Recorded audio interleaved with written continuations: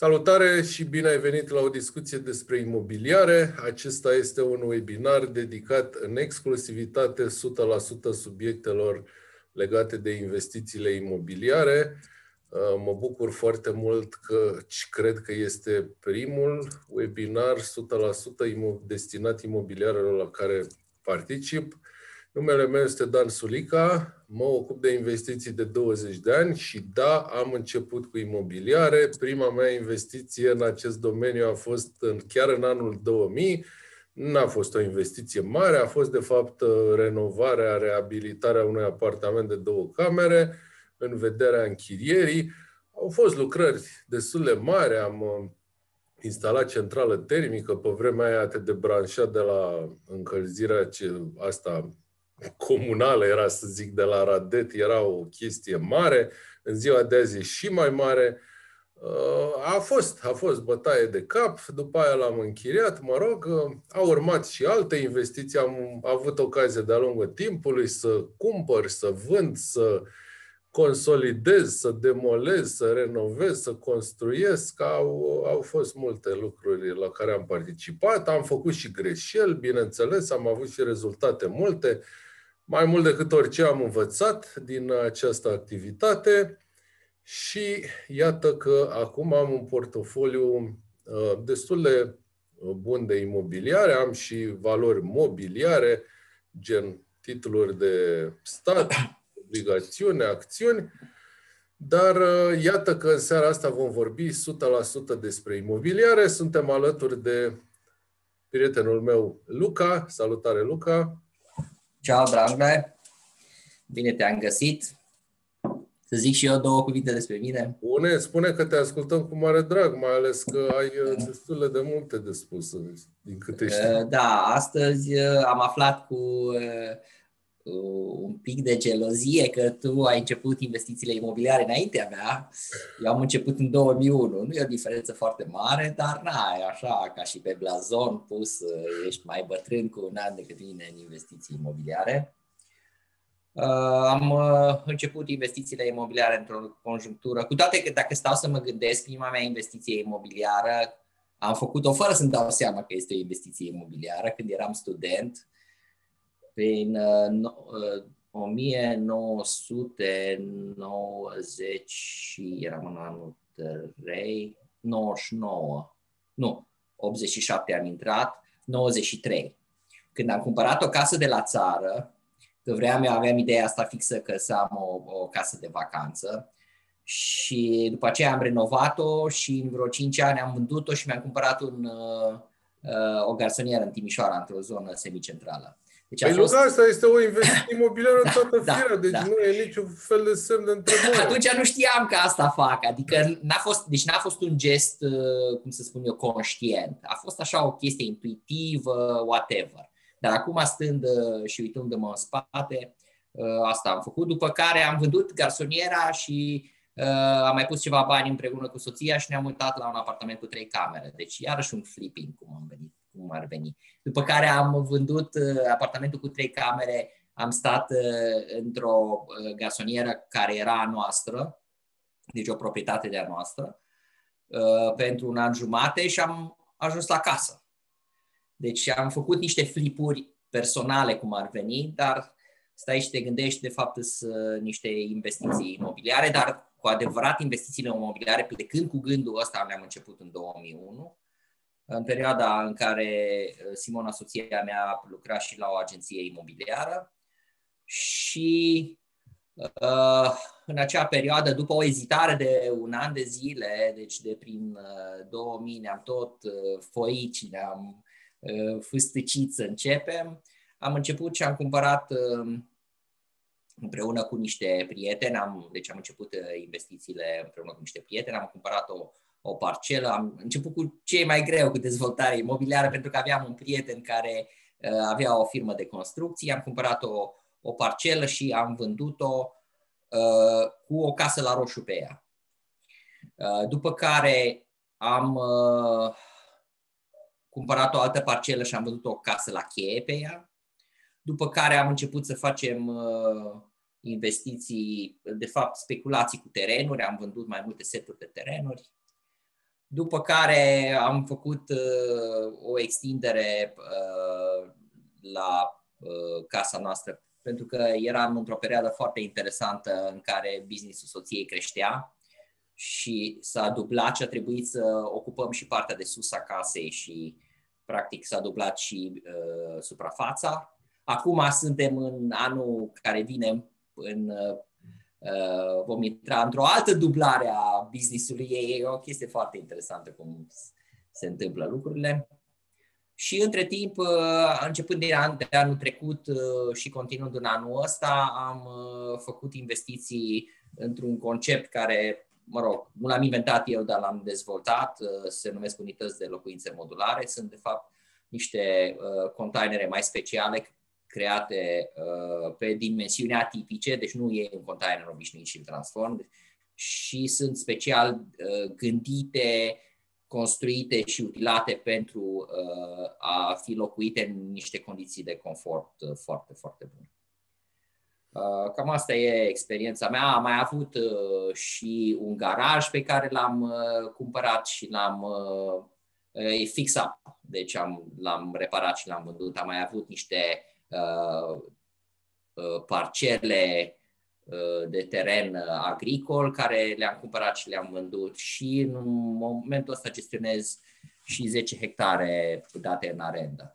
Deci am făcut cam de toate în domeniul ăsta și uh, trebuie să spun că aici, să zic în familie, uh, Simona e cea mai tehnică dintre noi, pentru că ea are legăturile, se ocupă cu acte și cu chestii de genul ăsta. Dar conceptele și investițiile le hotărâm împreună, le discutăm și le, le stabilim.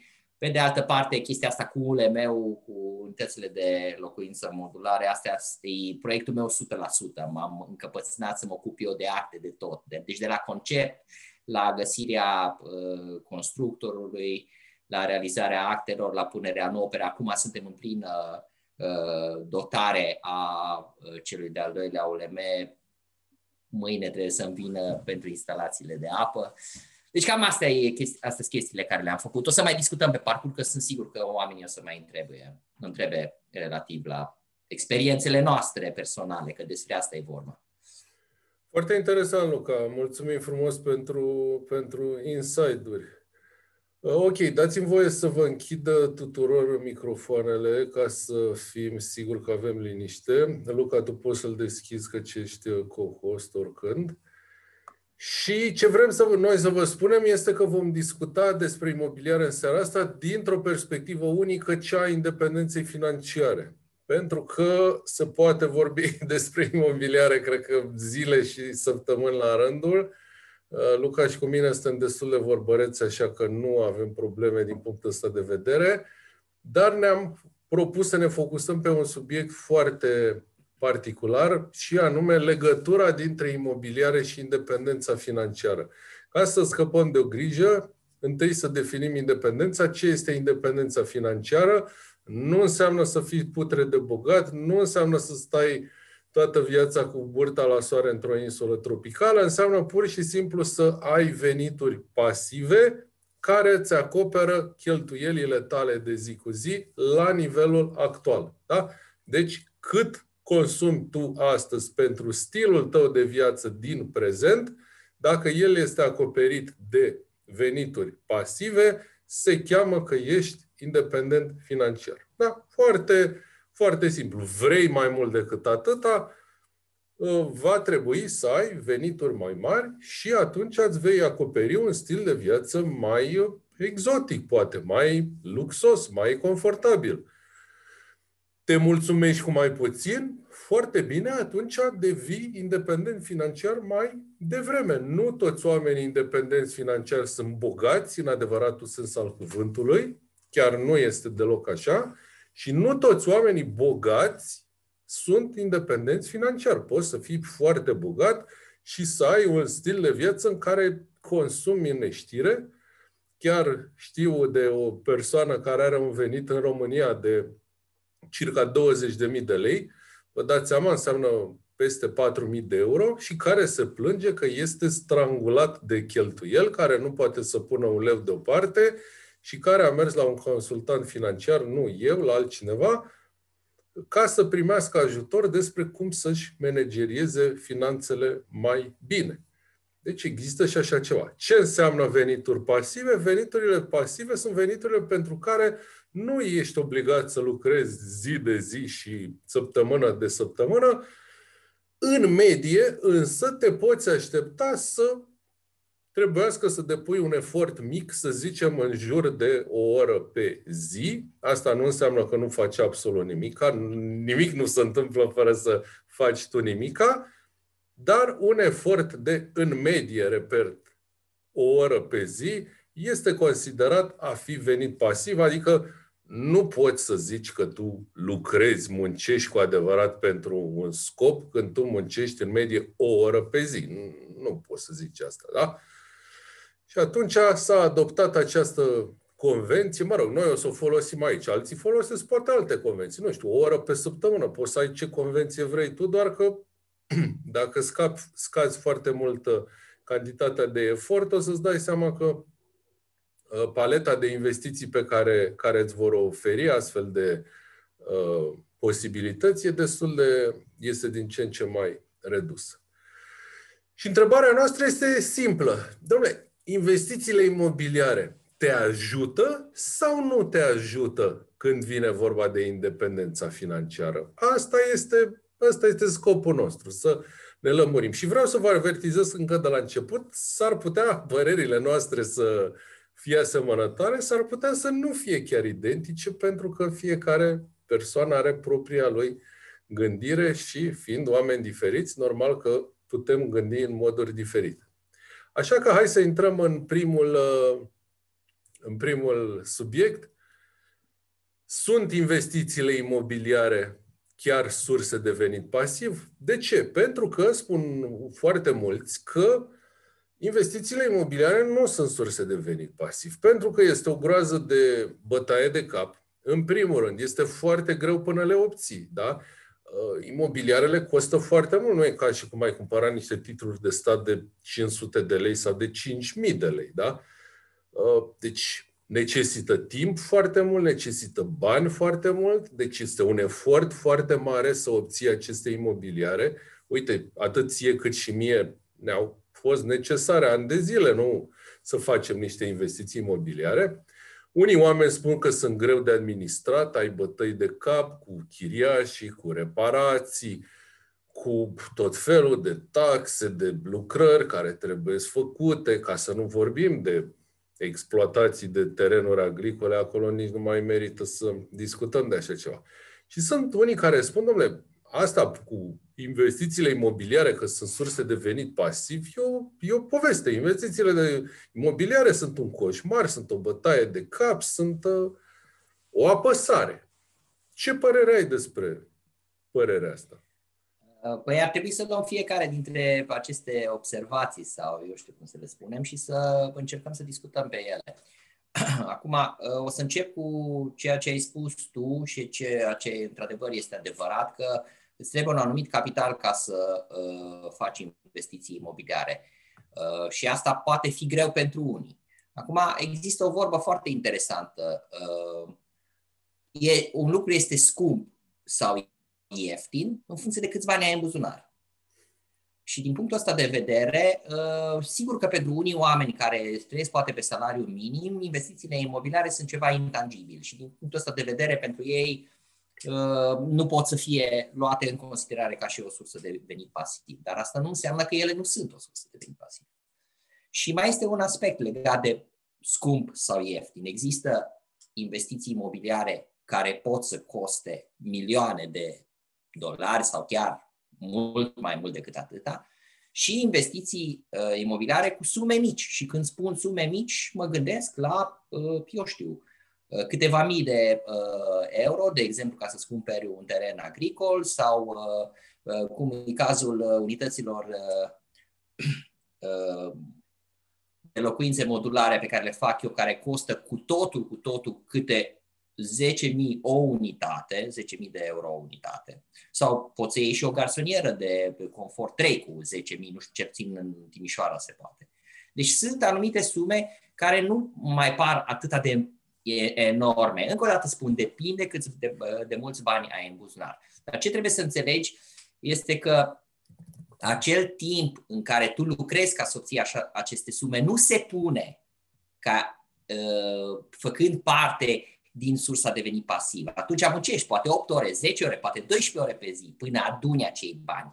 După ce ai această proprietate și ea îți produce un cash flow, o, e o sursă de venit pasiv, adică îți aduce uh, o arendă dacă este teren, îți aduce uh, o chirie dacă este, eu știu, uh, un apartament. Atunci, în momentul ăla, într-adevăr, ea este o sursă de venit pasiv, pentru că, așa cum spune de, uh, definiția, vei consuma sub o oră uh, pe zi în medie pentru, pentru acest lucru. Și îți spun, indiferent dacă ai probleme cu chiriașii, există probleme uh, de reparații sau ce e de făcut, uh, tot nu poți să consumi mai mult de o oră pe zi decât în cazuri excepționale, că se întâmplă ceva cu adevărat și cei care au apartamente date în chirie știu chestia asta. Trebuie să fie ceva cu adevărat excepțional ca să-ți consume atâta de mult timp, 2, 3, 4 ore pe zi, Uh, când ai dat, dat în chirie un, uh, un imobil. Da?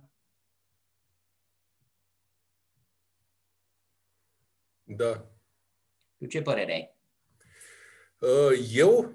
Păi eu am exact o părere foarte asemănătoare, pentru că ele necesită un efort mare în start, din start și din punctul ăsta de vedere efortul e clar mult mai mare și ca timp și ca energie și ca bani față de uh, marea majoritate a investițiilor în valori mobiliare. Ăsta e un dezavantaj al imobiliarelor.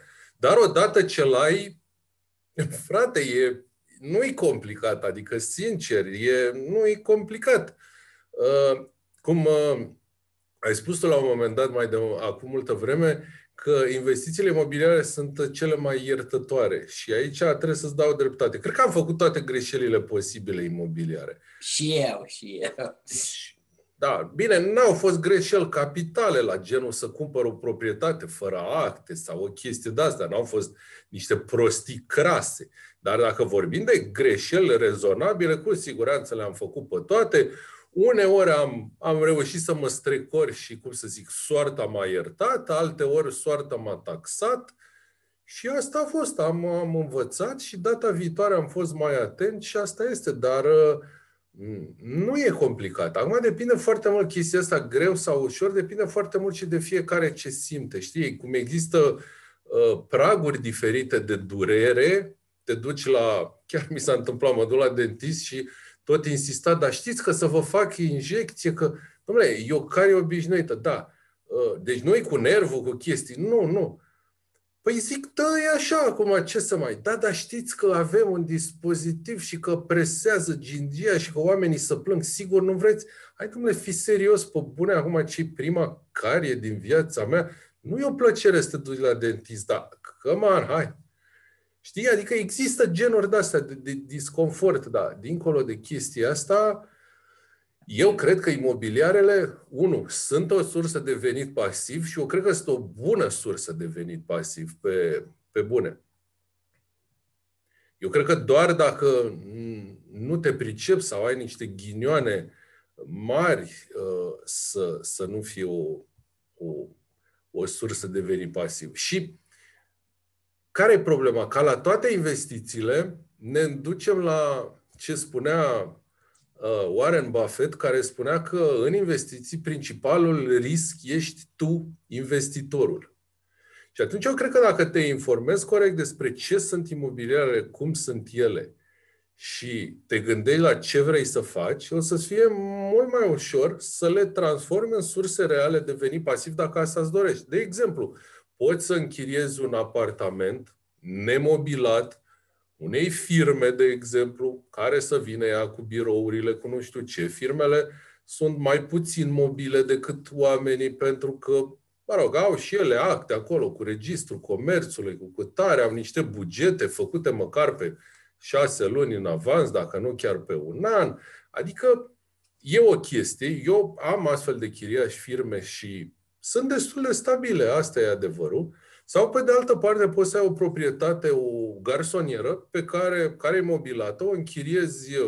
Cine închiriază o garsonieră? Păi, de obicei, un tânăr, o tânără sau știu și eu un cuplu tânăr care n-au, n-au încă copii și care prin definiție sunt mult mai mobili, sunt mult mai uh, trec prin schimbări mult mai rapide și atunci te poți întâlni cu situația ca odată la șase luni sau la nouă luni sau ceva de genul ăsta să schimbe chiriașul și să treci prin agenție imobiliară, comisionul agenției, uh, știu și eu, niște mici reparații de la plecarea unuia la venirea altuia, la eventuale stricăciuni, uzura mobilei, electronicelor. Deci poate să fie o bătaie de cap și pe de altă parte poți să-ți propui, de exemplu, să faci imobiliare în regim Airbnb pentru, uh, cum se cheamă, imobiliare regim hotelier, exact. Bine, nu în perioada asta, că în perioada asta, dacă faci treaba asta, o să stai cu ele goale, asta e sigur. O să fie cel mai pasiv venit din lume, că e zero, deci n-ai probleme. Dar uh, dacă faci un, o operațiune de asta de tip hotelier, în niciun caz nu o să fie la venit pasiv. Adică o să ai de muncit în fiecare zi aproape sau odată la două, trei zile, curățenie, schimbată așternuturi, prosoape, vezi cum e cu cheia, lasă cheia, primește cheia. Adică nici imobiliarele astea nu sunt toate la fel. Sunt bune sau sunt rele, sunt venituri pasive sau sunt nu prea sunt sau sunt active. Depinde foarte mult ce faci de la caz la caz. Și dacă tu ești genul mai comod, care nu te stresezi pentru... Eu pot să spun, eu nu vânez niște chirii mari, eu vânez niște chirii rezonabile. Și atunci, pentru mine, că obțin 6% pe an, chiar avem aici o întrebare, cam cât se poate, ce randament se poate obține din chirii.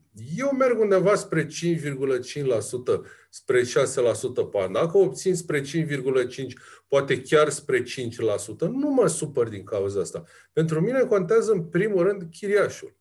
Pe de altă parte, dacă vânezi niște chirii mai mari, poți să obții și 7%, nicio problemă, atunci gândește-te că s-ar putea să ai un anumit turnover al chiriașilor, sau știu și eu, poate spații comerciale care îți aduc 10%.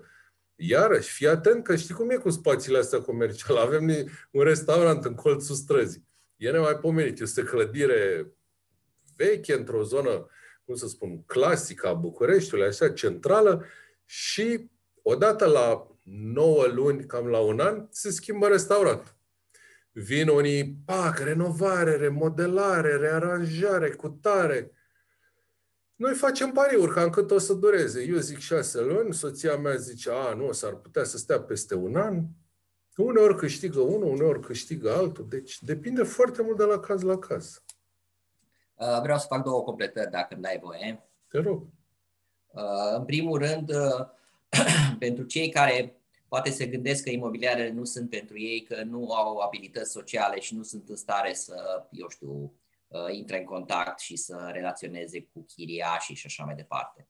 Uh, trebuie să spun că uh, în momentul de față în Timișoara există și cu siguranță și în București există probabil mai multe firme care se ocupă cu gestionarea sau mai bine zis managementul proprietăților imobiliare. Asta ce înseamnă? firma respectivă îi dai proprietatea și pentru un procent din uh, câștiguri ea se ocupă să-ți găsească chiriașul, să uh, verifice dacă el plătește ce trebuie plătit, începând cu chiria și terminând cu întreținerea. Să trimită uh, o echipă de reparații dacă în momentul în care chiriașul spune că s-a defectat, eu știu, toaleta, s-a ars un bec sau ceva de genul ăsta să curețe dacă chiriașul uh, a plecat și uh, după ce a plecat chiriașul să curețe și eventual să renoveze uh, proprietatea. Să îți găsească un nou chiriaș. Deci chestia asta se poate externaliza. Bineînțeles, asta înseamnă un profit mai mic. Dar este o soluție pentru persoanele care nu uh, au abilități din acestea uh, de management care presupune interfața cu oamenii.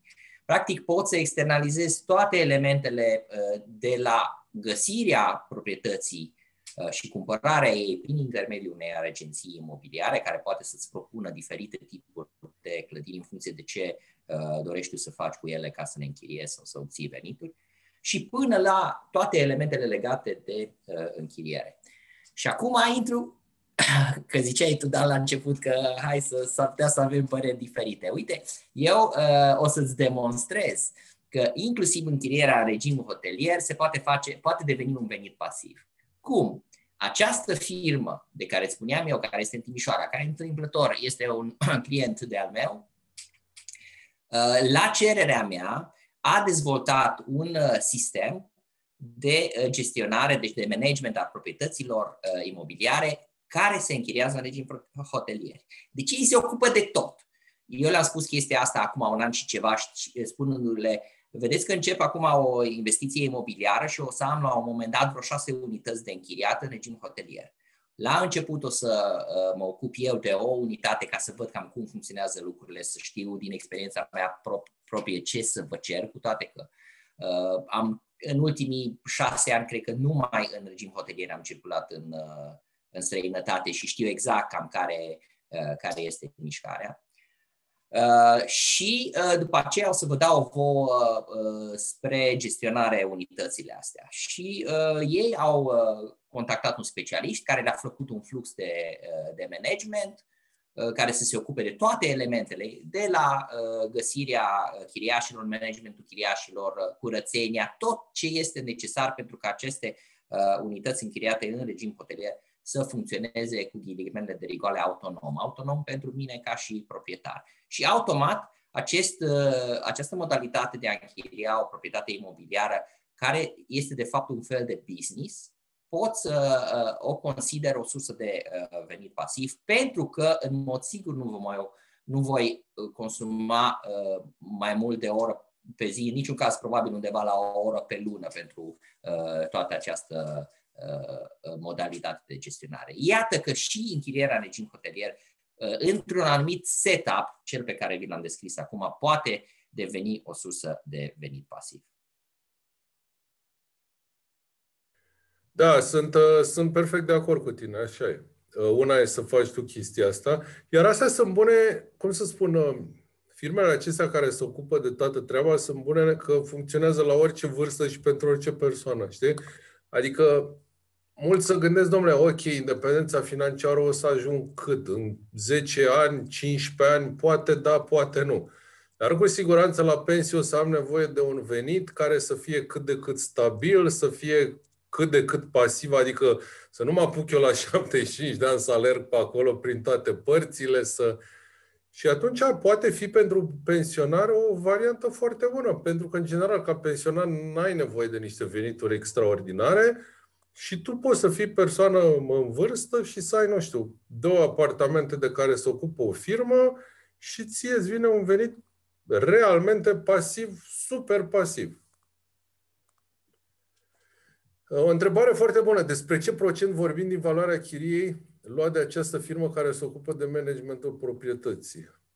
Procentul este în jur de 3 uh, până la 5%, la care se adaugă toate cheltuielile legate de uh, managementul proprietății. De exemplu, dacă face curățenie, uh, iarăși plătești tu, că asta e o, o chestie. Deci numai propriu zis managementul între 35% și o să vă dau un share screen uh, imediat cu firma, pentru că cineva întreabă care e firma respectivă din Timișoara.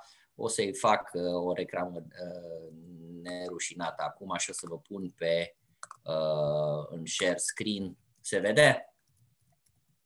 Da. Deci în Timișoara firma se numește Lemonade și zice în controlul uh, asupra casei tale unde te afla venituri pasive din închirieri. Da? Deci mai clar și mai exact decât uh, acest lucru nu, uh, nu se poate spune. Ei știu exact despre ce e vorba și știu că ideea de venit pasiv este foarte populară în rândul investitorilor. Deci dacă aveți o proprietate imobiliară în, în Timișoara, vă recomand această firmă, cunosc personal unul dintre cei doi patroni și vă spun că uh, sunt ok și din, uh, uh, din, anul, din vara anului trecut, dacă da, din vara anului trecut, uh, ei deja s-au ocupat și de închiriere în regim hotelier, deci puteți să dați uh, Uh, de ei și dacă doriți să faceți chestia asta.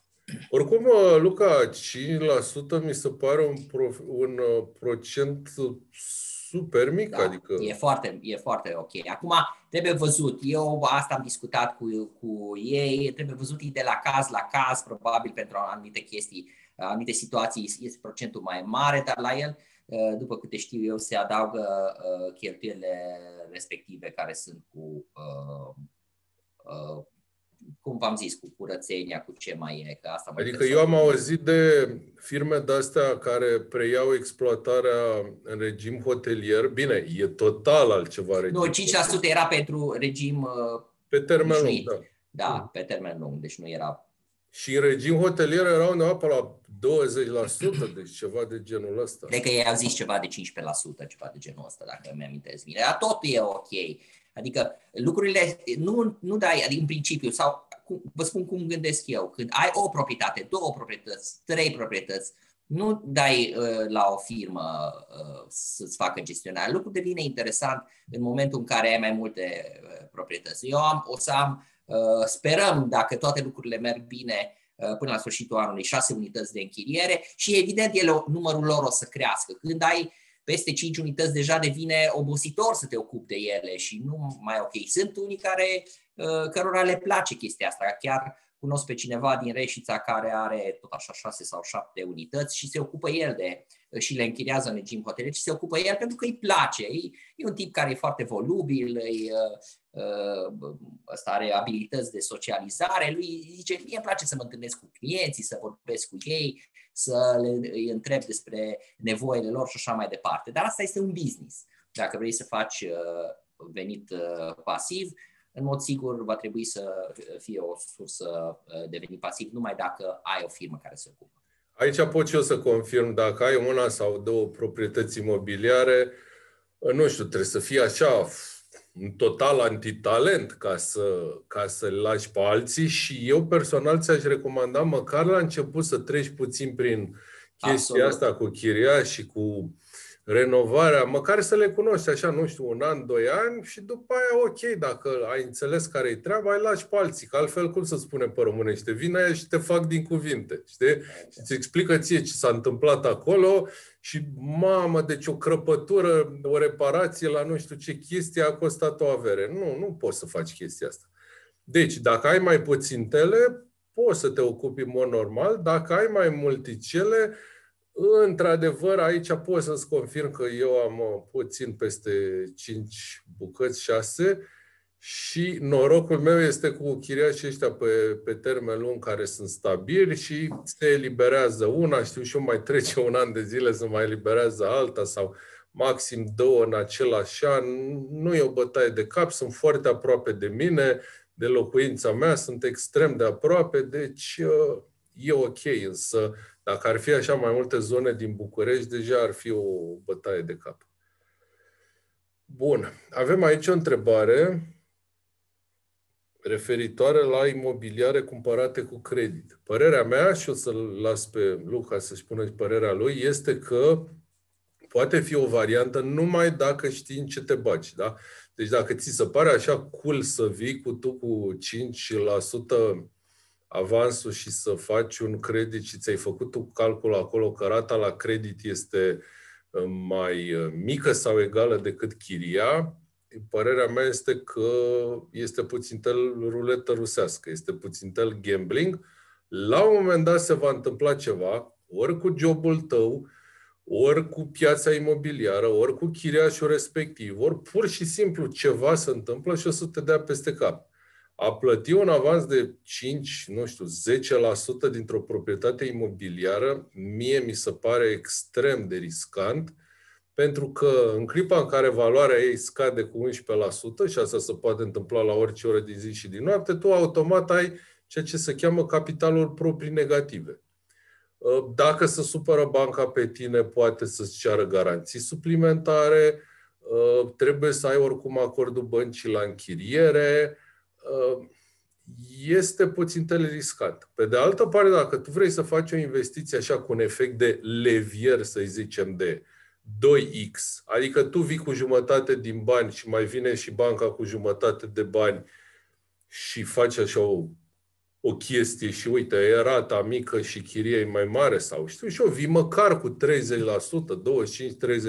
25-30% din bani, ai o bucățică semnificativă din acea proprietate, atunci, într-adevăr, s-ar putea să fie o idee bună să apelezi la ajutorul băncii. Gândește-te însă că tu rămâi dator și în momente bune, și în momente rele, și de pandemie, și de criză economică, și de toate. Și băncii nu prea pasă ce se întâmplă cu tine, adică nu prea problema ei.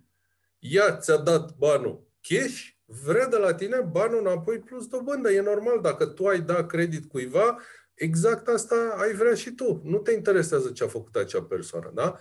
Și atunci trebuie să te gândești foarte bine. Chestia asta doar cu cifrele să te uiți tu că numărul ăla e mai mare decât ălălalt, eu cred că e o capcană. Dar de-abia aștept să văd ce are Luca de spus. Da, uh, o să începem puțin uh, să vedem cam de unde vine ideea asta de a uh, lucra cu bani puțin, cu leverage mare, de să te împrumuți mult din valoarea proprietății pentru ca uh, în final să cumperi proprietatea și să existe un cash flow pozitiv, ai dori tu ca și cel care închiriază uh, în, um, pe acea proprietate. Ideea vine din zona americană, unde o seamă de educatori financiari, printre care și Robert Kiyosaki, uh, propovăduiesc uh, această modalitate de investiție. Acum, uh, trebuie pornit de la o realitate extrem de importantă și anume că România nu este Statele Unite. La ei există alte modalități de, în primul rând, altă legislație Trebuie să înțelegeți că dreptul românesc se bazează pe dreptul francez, care se bazează pe dreptul napoleonean, deci de la începutul secolului XVIII, iar America se bazează pe dreptul anglosaxon, practic pe dreptul englez, care are de multe ori totale alte abordări și uh, definiții juridice la chestii care sunt uh, comune. Da? Deci, cum e, eu știu, transferul dreptului de proprietate. De exemplu, în America uh, se poate uh, da avans, deci să faci un contract provizoriu, să blochezi proprietatea cu o anumită sumă. De exemplu, proprietatea costă 100 de mii, tu dai un avans de 10 mii și după aia tu poți să te duci și să uh, vinzi proprietatea uh, chiar dacă nu ai uh, acte proprietate asupra ei. Deci să fii un fel de middleman. Chestia asta nu se poate în România. Și asta trebuie să înțeleagă cei care doresc să se inspire din uh, metodele care sunt prezentate de uh, Uh, cum am spus, educatori financiari din Statele Unite. Există diferențe notabile. Asta e, deci de legislație și de modul în care uh, băncile tratează uh, investitorii și de modul în care statul tratează investitorii. Că și aici e o chestie. În Statele Unite există o mulțime de facilități fiscale și de business pentru investitorii imobiliare, ceea ce nu există în România. Da? Deci, trebuie să înțelegeți că aici e vorba de mere, americani și pere la noi. Da?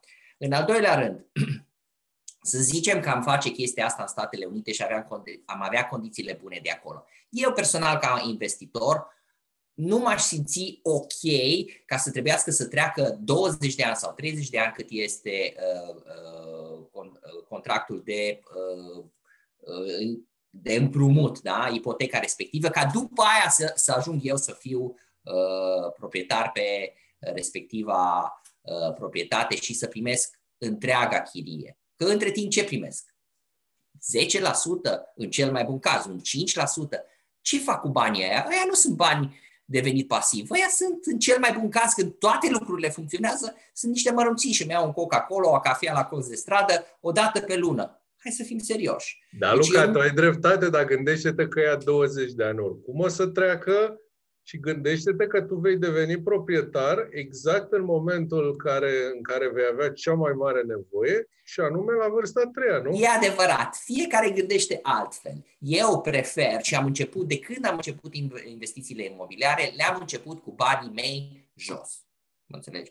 Asta a fost abordarea mea. În primul rând pentru că am, uh, cum să zic eu, nu, nu zic că nu am, am și uh, investiții imobiliare uh, cu bani de la bancă. Să nu mă credeți că sunt un din ăsta antibancă și obsedat. Încă eu am în derulare niște credite uh, ipotecare care se derulează pentru investiții imobiliare, dar sunt atât de micuțe față de restul. Deci cea mai mare parte a investițiilor mele imobiliare, ca și sume, au fost făcute cu fonduri proprii. Da? Asta este abordarea mea personală. Nu-mi place să fiu uh, îndatorat la bancă. Eu și când mi-am făcut casa, casa, cum am spus, am uh, mers pe ideea, am cumpăr o casă la țară ieftină, după aia o garsonieră, toate au fost niște flipuri, tot am adăugat niște bani și am trecut la o proprietate imobiliară mai mare. Nu mi-a plăcut niciodată să stau uh, în, uh, într-o casă care nu este a mea. Asta e o chestie de educație, o chestie de opțiune personală, fiecare face ce vrea. Dar m-ai întrebat, asta e uh, părerea mea. Și să ajungem uh, la final și să spunem că, din punctul meu de vedere, făcând niște calcule și cunoscând, trecând prin două crize mari, e foarte riscant. Păi uite-ți ce se întâmplă acum. Cu... Gândește-te că ai avea uh, cinci proprietăți imobiliare, dintre care una este închiriată la un tip care lucrează la un restaurant, una este închiriată la un tip care este antrenor personal la o sală de sport și una este uh, închiriată la, uh, eu știu, o doamnă care uh, lucrează la un hotel. Păi ăștia nu mai au bani. Da? Tu va trebui să cauți acum disperat uh, noi chiriași, da? într-o perioadă în care lumea mai degrabă pleacă din oraș decât vine în oraș, și ce va trebui să faci? Să scoți din buzunarul tău lună de lună până când găsești chiriașul respectiv niște sume ca să acoperi uh, uh, ratele la bancă. Da? Eu personal nu sunt tentat să fac o asemenea uh, investiție care mă predispune la acest risc, să trebuiască să scot eu din banii mei pe care îi câștig prin venit activ ca să acoper niște probleme. Sunt alții și știu că există și în România, există uh, și în străinătate care fac chestiile astea, dar pentru mine personal nu este o metodă pe care o prefer. Eu prefer în marea majoritate să fac bani, uh, să fac investiții cu uh, fonduri personale. Bun. Ok. Hai atunci să trecem la capitolul următor, că pe astea le-am rezolvat. Sunt, în concluzie, imobiliare sunt surse de venit pasiv dacă știi ce faci și dacă ești atent și dacă ești informat, atunci, într-adevăr, poți să le folosești ca surse de venit pasiv. Capitolul numărul 2. Ne întoarcem la independența financiară. Ce plusuri și ce minusuri au imobiliarele dacă ai vrea să le folosești pe, pentru drumul tău spre independență financiară? Uite, cineva ne spune aici că îl umflă râsul cu chestia asta că să fii proprietar la pensie. Zice, bă, pleacă de aici, că ce, dacă prindem 60 de ani? Eu zic că bun, dacă nu prin 60 de ani, care e problema ta? Că te duci la locul verdeață și nu e nicio problemă. Problema ta vine dacă prin 60, dacă prin 70-80 de ani, dacă ajungi în media, speranța medie de viață undeva pe la 80 și ceva de ani, da? Până o să ajungi tu la 80 și ceva de ani, probabil o să fie și mai mare, o să fie spre 90. Ce faci dacă după pensie mai ai 30 de ani și o să ți trăiești în mizerie? Pentru că asta înseamnă pensia acum de la stat egal mizerie. Asta e riscul. Nu riscul să pleci mai devreme, că dacă prinzi un trend ăla cu plecare mai devreme, n-ai nicio problemă, ești happy acolo, nicio chestie, știi? Dar ce faci dacă prinzi un tren care pleacă, apropo de la Radu Beligan, la 95 de ani? Aia e problema. Deci, ce părere ai, uh, Luca? Sunt o idee bună? Te duc imobiliarele la independența financiară? Sunt un vehicul bun?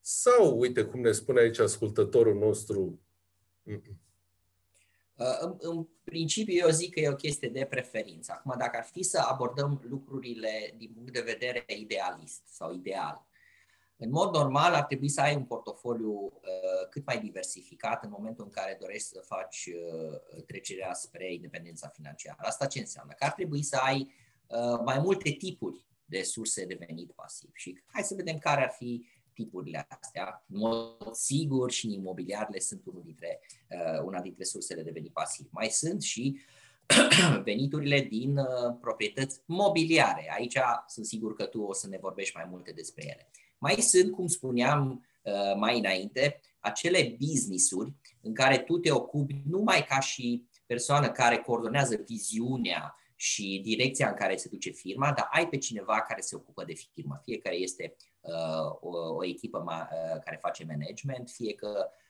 externalizezi, cum am spus eu, în, cadrul, în cazul închirierilor în regim hotelier către o altă firmă care se ocupă de businessul tău.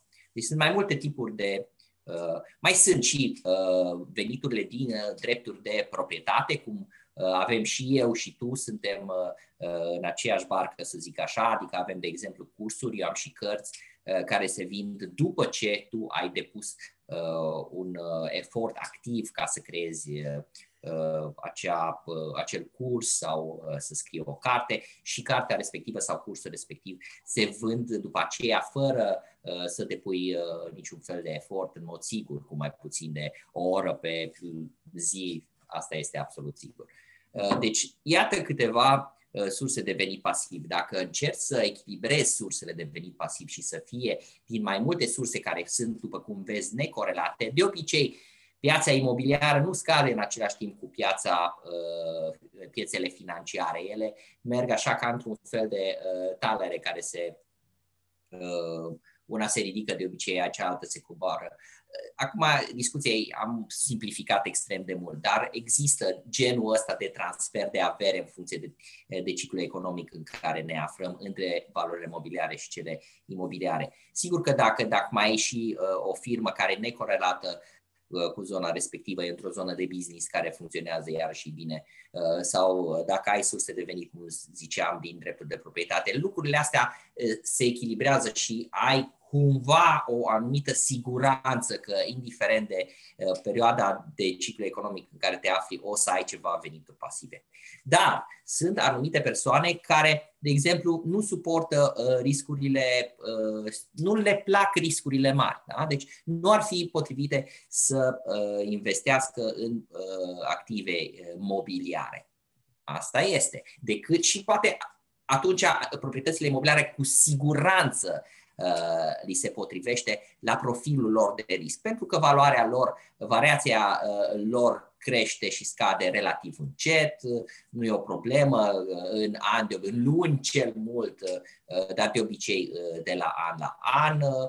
Ele aduc cât de cât un venit relativ constant, dacă e să-ți schimb chiriașul, cum ziceai tu, în cel mai rău caz pleacă în șase luni. Dar știi că măcar șase luni ești cât de cât liniștit, ai un orizont de timp în care poți să uh, te relaxezi. Deci, poate imobiliarele sunt pentru, uh, pentru tine. Și atunci, după părerea mea, nu ar trebui să forțezi nota în ideea că, da, nu am un uh, portofoliu uh, de venituri active echilibrat, pentru că nu îmi plac uh, investițiile în uh, valori mobiliare, ok, nu îți plac, rămâi la mobiliare, dar trebuie să îți asumi că în imobiliare sunt cicluri de creștere, de scădere și vei avea o variație care ar putea să îți afecteze veniturile.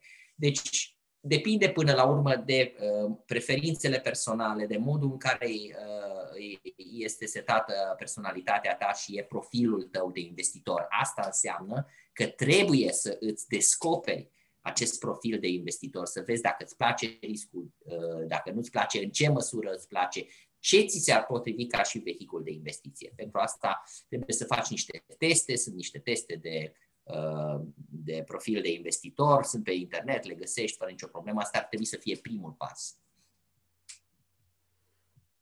Ok, absolut de acord. Uh, Carmen, o să-ți răspundem uh, imediat la, la întrebare, că este vorba de proprietăți noi sau poate proprietăți vechi. Uh, părerea mea este că trebuie să vezi uh, lucrurile puțin nuanțat, uh, pentru că, cum să spun, același instrument nu se potrivește la fel la oameni diferiți, asta e clar. Unui om îi place un tip de înghețată, altuia poate nu îi place deloc înghețata, preferă o prăjitură sau o felie de tort. Și iarăși depinde de moment, pentru că una este o înghețată când sunt 35 de grade afară și alta este fix aceeași înghețată la exact aceeași persoană, când însă sunt minus 10 grade afară. Parcă nu prea-ți vine, nu prea intră înghețata aia la fel de bine, da? Deci, uh, eu fac această diferență. Eu zic că dacă ai ajuns la independența financiară, deci ai ajuns acolo, nu contează cum, ai ajuns acolo, imobiliare sunt excelente pentru a-ți păstra independența financiară. pentru că îți oferă o anumită stabilitate, inclusiv mentală, o volatilitate a prețurilor care există, deci imobiliare cresc și scad uneori cu procente mari, dar avantajul tău este că nu o vezi. Nu vine nimeni să-ți bată la ușă. Domnul, domnul, luna asta v-a scăzut valoarea proprietății cu 5%. Luna viitoare încă cu 5% și tu să te stresezi. Și, aulă, nu știu ce să mai fac, îmi scade valoarea proprietății. Și dacă scade ce? Păi, data viitoare sau chiriașul o să vină peste șase luni și o să negocieze chiria. Bun, și dacă o negociază ce? E, vezi, aici ai o problemă cu rata. Pentru că s-ar putea să ți-o negocieze și să ajungi sub valoarea ratei la credit și acolo ai cam încurcat. Altfel însă, dacă ai luat cu banii tăi cash și eventual ai o bucățică de credit mică, marginală, nu o să fie chestia asta o, o problemă. Uh, volatilitatea.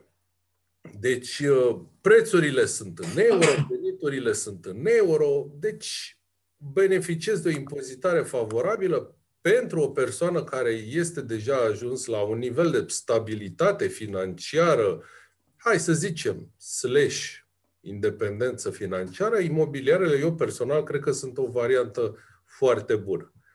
Ce faci până să ajungi acolo? Asta este marea întrebare. Drumul spre independență financiară te ajută sau nu te ajută imobiliarele pe drumul spre independență financiară? Păi, dăm voie să-ți arăt un... Uh, am aici o mică schemă apropo de drumul spre independență financiară. Să fac un share screen. Acesta este un uh, calculator de dobândă compusă. Eu folosesc site-ul de la moneysmart.gov.au din uh, Australia, un site foarte bun. Și zice în felul următor, bun, cam care este cifra independenței tale financiare? Nu știu, hai să zicem că tu consumi cam 4.000 de lei pe lună sunt cheltuielile tale. Nu mi-o luați în nume de rău, vin doar cu un exemplu. Deci dacă cheltuielile tale pe lună sunt 4.000 de lei înseamnă cât? Pe an înseamnă cam 50.000 de lei, aproximativ să luăm așa cifra de 20x, ar însemna cam un milion de lei îți producție suficiente venituri pasive ca să fii aproximativ independent financiar. Da? Bun, un milion de lei. Când ajungi tu la un portofoliu de un milion de lei? Păi să zicem că vii în fiecare lună cu 1000 de lei, aveai depozitul inițial, aveai tu 1000 de lei strânși, vii în fiecare lună cu 1000 de lei, dobânda se compune anual, cam câți ani trebuie să stai? Păi probabil că vei putea să-ți faci un portofoliu echilibrat de vreo care să-ți aducă, mai ales la lei, un jur de 8% pe an n-ar fi o problemă, nici chiar cu imobiliare. În câți ani ai ajuns tu la un milion? Păi în 10 ani ajungi la 275.000 de lei, în 20 de ani ajungi la 500.000 de lei, în 20 și, hai să zicem 30 ca să fie rotund, ajungi la un milion și ceva, hai să zicem cam în 25 de ani ajungi pe la 900 de mii de lei, da? Sau lăsăm așa cum a căzut cu, cu 25 de ani. Bun. Deci vorbim de o perioadă semnificativă, da? Pentru că această sumă lunară, 1000 de lei, nu este foarte mare și totuși, uite, te duce după 25 de ani la 900 de mii de lei. Ok. Ce observăm aici pe grafic? Există prima perioadă de primii, nu știu, primii 8, 9, 10 ani, cu albastru închis avem evoluția contribuțiilor tale, acea mie de lei cu care vin fiecare lună, și cu bleu deschis este dobânda compusă, sunt acele profituri la profituri care au o creștere exponențială. Da? După cum vezi asta cu bleu deschis, crește așa accelerat. E, care e problema în prima etapă? În prima etapă, influența esențială o au banii aduși de tine. Da? În fiecare lună, în fiecare an. Vezi că partea cu bleu este aproape, aproape inexistentă. Ea există, e 8%. Că asta e. Dar contribuția este foarte mică. E, Dacă tu vrei să folosești imobiliarele în prima parte, am o veste proastă pentru tine, nu o să prea poți, că n-ai bani în orice caz. Poate, cum zice Luca, să faci o investiție de asta într-un imobiliar ieftin odată ce ai strâns și tu vreo 10-15 mii de euro, dar altfel n-ai bani de imobiliare. Când ai putea să ai bani de imobiliare? Undeva pe la jumătate, în treimea de mijloc, vezi, într-adevăr, acolo ajungi undeva la un portofoliu de vreo 300 de mii de lei. La 300 de mii de lei ai putea să cumperi o garsonieră de vreo 20-25 de mii de lei? Da, ai putea. Ți-ar mai rămâne bani pentru altceva, sigur, ți-ar mai rămâne și bani pentru altceva. Deci aici, într-adevăr, ai putea să-ți cumperi o proprietate imobiliară. Uh, eu aș zice însă să fii foarte atent că mai există și alte instrumente pe lângă proprietățile imobiliare. Poate vrei să te informezi despre ele, poate vrei să nu te informezi. Există instrumente cu risc mic, garantate de stat, cum sunt titlurile de stat și slavă Domnului, chiar în perioada asta statul, statul vine cu o ofertă de titluri de stat, se numesc Fidelis, vor fi listate pe bursă, vin cu dobânzi anuale de 3,5% pe un an și de 4% pe 3 ani. Vin chiar și în euro pe 5 ani cu 2,85% și credem nu o să găsești 2,81, pardon, 1,85% în euro, nu o să găsești la nicio bancă. Clar, punct.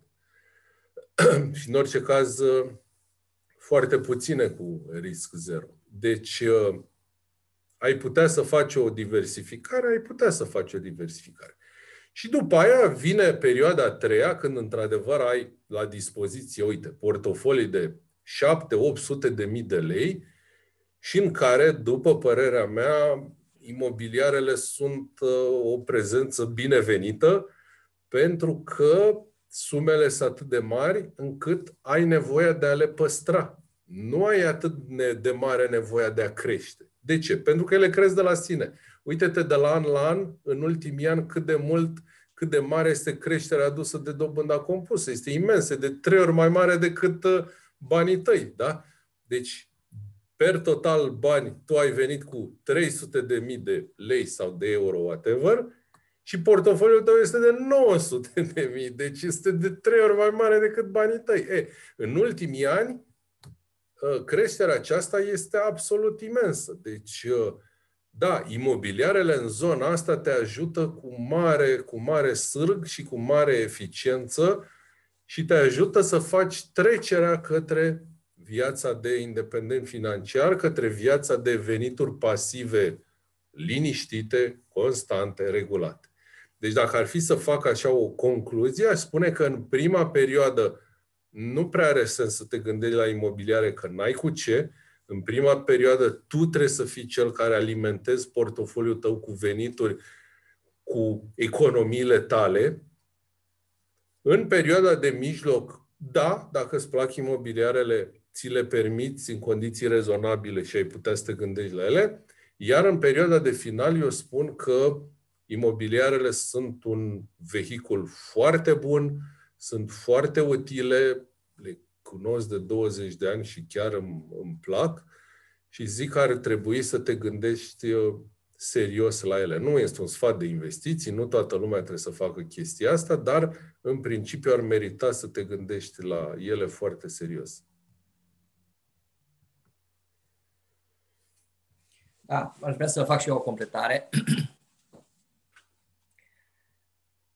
Sper că mă aud. Te ascultăm, da? Da, da. Uh, sunt uh, absolut de acord cu tine că nu poți să faci investiții imobiliare decât în momentul în care uh, dispui de niște fonduri. Ca să, dacă strângi niște bani puțini și cu, cu greu și vrei după aia să investești la început în investiții imobiliare, practic tu trebuie să începi din nou de la zero. Pe când dacă lași această dobândă compusă să funcționeze, la sfârșit vei avea suficienți bani, cum ziceai și tu, să-ți cumperi proprietăți imobiliare. Acum există două tipuri de abordare. Abordarea pe care ai spus-o tu, în care în fiecare lună uh, pui o sumă deoparte și nu te gândești uh, să îți, uh, adică pleci de la ideea că nu-ți mărești veniturile. Și există a doua uh, modalitate în care uh, este, uh, te gândești la o creștere accelerată a veniturilor tale în măsura în care uh, poți să faci acest lucru. Și eu zic în principiu că se poate face. Și o să vă povestesc uh, uh, clar experiența uh, mea, de fapt a familiei noastre. în 2008, când uh, a venit criza, de fapt în 2009 în România, Principala sursă de venit activ pe care o aveam noi ca și familie era cabinetul de stomatologie în care lucram. Eu eram investitor, adică noi eram investitori uh, din 2001 în imobiliare și din 2003 eu activam pe piețele financiare, dar la noi în, în uh, familie există, uh, cel puțin la început, exista o regulă, banii din investiții nu există. Deci ei erau cumva de o, de o parte față de tot ce înseamnă buget, nu intram în ei sub nicio formă, întotdeauna reinvesteam profitul și creșteam acest capital de investiții. Și în momentul în care a venit uh, criza financiară în 2009, mie mi-a scăzut uh, uh, mi-au scăzut veniturile cu 50% și după aceea chiar mai mult.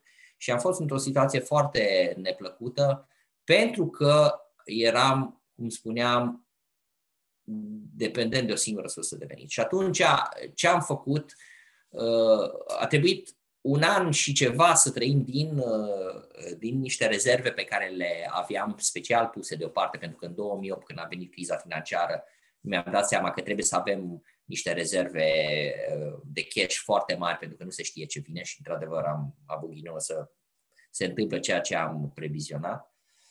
Un an de zile, un an jumate de, am uh, trăit din rezerve și în același timp am început să ne creștem niște surse de venit multiple. Asta a fost primul pas. Mai multe surse de venit.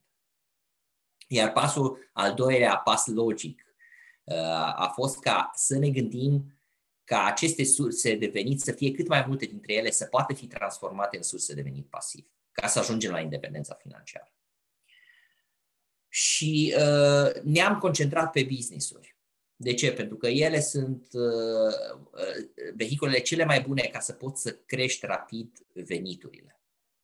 Și tot ce am făcut investiții imobiliare pe această, uh, în această perioadă, în jur, deci am avut o perioadă în care am făcut investiții imobiliare intens în jur de 2015, a fost ca să sprijinim dezvoltarea Uh, businessurilor noastre. Deci ne-am dublat uh, suprafața de uh, ne-am dublat suprafața închiriată, anul ăsta ne-am triplat-o și în continuare o să o mărim ca să asigurăm zone de închiriere, inclusiv am eliberat zona, vom elibera la anul zonele astea care le-am folosit pentru business și vom transfera business-ul într-o altă locație.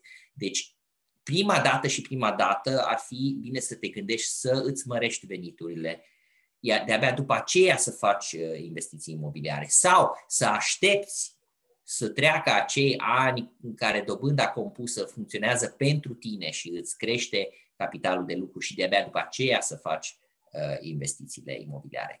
Asta este realitatea cu, eu știu, 100 de lei, 200 de lei, 300 de lei Uh, puși deoparte lună de lună, nu prea ai șanse pe parcursul vieții tale, chiar dacă începi relativ de vreme, să poți să strângi suficient de mulți bani ca să uh, ai uh, venituri uh, pasive. Trebuie să ai niște venituri mari.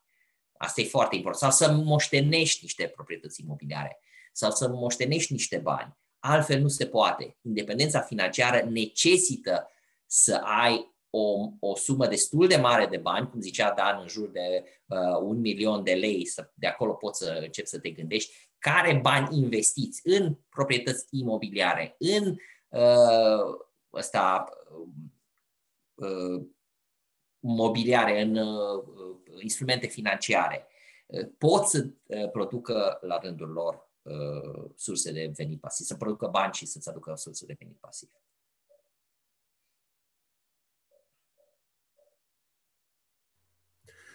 Bun, am mai răspuns aici pe chat la niște întrebări. Hai să mai luăm niște întrebări dacă tot am ajuns aici. Carmen. Carmen ne întreabă, uh, apropo de investiții în uh, imobile noi sau în imobile vechi. Părerea mea este foarte simplă, important e ce vrei să faci cu acel imobil. Da? Dacă vrei tu să te muți în el, atunci trebuie să fie construcție cu tare nouă, trebuie să-ți placă vederea, trebuie să-ți placă etajul, trebuie să-ți placă vecinii, trebuie să-ți placă soacra vecinilor, trebuie să-ți placă vecina vecinilor. Trebuie, este o, un gen de cerințe, o situație, este o chestie extrem de particulară. Da? Pe de altă parte, dacă dorești să le închiriezi, atunci ai alte cerințe. Trebuie să le placă altora, trebuie să se ceară pe piață, trebuie să fie lichide. Chiar ne spunea cineva, din păcate, că a cumpărat o garsonieră pentru închiriat și acum a venit pandemia și în blocul respectiv sunt 33 de garsoniere disponibile la închiriat. Așa e, cum ar spune domnul președinte, ghinion. E, asta este realitatea. De ce să ne ascundem, să ne dăm după deget? Pe de altă parte, când uh, domnul actual, încă câteva săptămâni, uh, Donald Trump, uh, fostul președinte al SUA, a fost întrebat despre cei, cele trei caracteristici care contează cel mai mult la o investiție imobiliară, el a spus location, location, location. Da? În clipa în care tu ai o proprietate într-o locație bună, centrală, Bun, de acord, nu o să mai fie în centru vechi al orașului, unde vin turiștii, nu o să mai vină atât de mulți turiști, dar o, o proprietate într-o locație bună, știu și eu, aproape de metrou sau așa mai departe, își va pierde mult mai greu valoare decât o proprietate aflată undeva la intrarea în Bucureștiului, București, pe o stradă lăturalnică, pe nu știu ce, da? Este matematic. Care sunt primele care se vând? Păi alea. Care sunt primii chiriași care pleacă? Păi ăia. Când o să plece un chiriaș din, nu știu, ceva, o, un apartament aproape de Piața Victoriei? S-ar putea să plece, dar vine altul. Pentru că acolo o să existe o anumită cerere în permanență. Deci, din punctul meu de vedere, trebuie să te gândești cui vrei să închiriezi, ce face acea persoană, unde lucrează, ce venituri are, ă, ce situația familiei are, este căsătorit, căsătorită, au copii, da, în ce perioada vieții și să-ți faci un fel de persona, să-ți imaginezi care este acea persoană și îți va fi mult mai ușor. Nu trebuie să fie o, o locație sau o proprietate care să-ți placă ție, să te simți tu bine acolo. Nu, e puțin irelevantă chestia asta, da? Deci, eu cred că uh, diferența dintre vechi și nou la capitolul închiriat nu prea se pune. Țin minte că m-am întâlnit în urmă cu câțiva ani cu... Da, a trecut atât de mult timp, Luca. Am uh, fost invitați la o recepție, la o ne-am întâlnit din întâmplare acolo și Luca venise în București și stătea într-un apartament, aș putea să zic, literalmente în centrul orașului. Deci, cred că erau la o distanță, nu știu, de zeci de metri de piața universității, pe care putem să aproximăm cu centrul Bucureștiului. Nu e aproximare grosieră. Și el stătea nu știu, la, cred că la 20-30 de metri de universitate, ceva de genul ăsta. Uh, problema este că eu cunoșteam blocul ăla și blocul ăla nu că era cu risc seismic de astea 2 sau 3, era blocul bulină roșie. De ce contează dacă... Dacă n-a picat cât erai tu acolo, nu contează. E, vezi, asta este. Ăsta este punctul de vedere al lui care a fost chiriaș acolo și probabil ăsta este punctul de vedere al celui care închiriază. Bă, ăla care închiriază nu o să se uite el că e cu bolină, că e nu știu ce, vine și el stă o noapte, două, trei, zice, hai că noi aveam eu chiar atâta ghinion să pic cu blocul și și-a văzut de treabă. Deci vei obține un randament. A, nu se considera că ăsta e uh, un sfat să cumperi apartamente cu risc seismic uh, de-astea avansat. Nu, Doamne ferește dar vreau să spun că trebuie să ai alt mod de gândire. Un mod de gândire care optimizează raportul calitate-preț și randament-preț, da? nu cu orice preț, dar cu, cu cum să spun, niște compromisuri rezonabile și pe de altă parte, dacă vrei tu să stai sau o rudă sau un copil, te gândești, bă, uite, cumpăr acum un apartament, poate îl închiriez o vreme, dar copilul sau copiii să fac mari, o să fie ceva unde să poată să se ducă unul altul, să-și facă o familie. Alt mod de gândire, da? Nu o să-ți trimiți copilul într-un bloc care știi că e paradit, da? Bun. Deci, uh, uh, sper că am uh, răspuns la ce întrebă Carmen. Zice, e mereu o problemă dacă vechi sau nou. Da. Eu cred că obții un randament mai bun la o clădire de tip vechi, dar nu o clădire paradită sau bușită, într-o locație care într-adevăr se caută. Asta este părerea mea. Mai ales că, culmea, locațiile astea, clădirile noi, de obicei sunt mai pe zone exterioare sau dacă sunt mai pe zone interioare, vin la un preț uh, măricel, nu? Bun. Încă o întrebare, veșnica întrebare, merită să păstrezi lichiditățile în lei sau euro? Veșnicul meu răspuns, de ce trebuie să fie sau? De ce nu poți să ai și o parte în lei și o parte în euro? De ce trebuie să pariem întotdeauna pe un singur cal, să pariem întotdeauna pe o singură carte, dacă ne iese aia, pac, e, am câștigat, dacă ne iese aia altă, ah, am pierdut. Nu. Este o păcăleală. Trebuie să ai o anumită diversificare valutară, e evident. Și o să răspund eu la întrebarea unde recomandați uh, păstrarea fondului de siguranță. Fondul de siguranță se ține în casă. Fondul de siguranță este uh, trebuie să fie echivalent cam cu uh, cheltuielile pe o lună. Fondul de rezervă e bine să-l ții la bancă, într-un uh, cont bancar la care poți să ai acces prin internet banking, să poți să. Uh, uh, deci, într-un depozit bancar, evident, și să poți să spargi depozitul respectiv și să ți-l transferi pe card și să poți să uh, accesezi banii cât de repede ai nevoie de ei. Deci, cam asta ar fi uh, recomandarea. Uh, avem o întrebare excelentă de la uh, Luminița care ne întreabă unde poți investi ca să beneficieze dobânda compusă, să nu ai venituri negative. Avem un răspuns pentru tine perfect, Luminița, însă te rugăm să mai aștepți cam 15 minute și venim exact cu răspunsul perfect la întrebarea ta. Uh, bun. Revine cu o întrebare, Mădălina cu apartamentul din Frankfurt.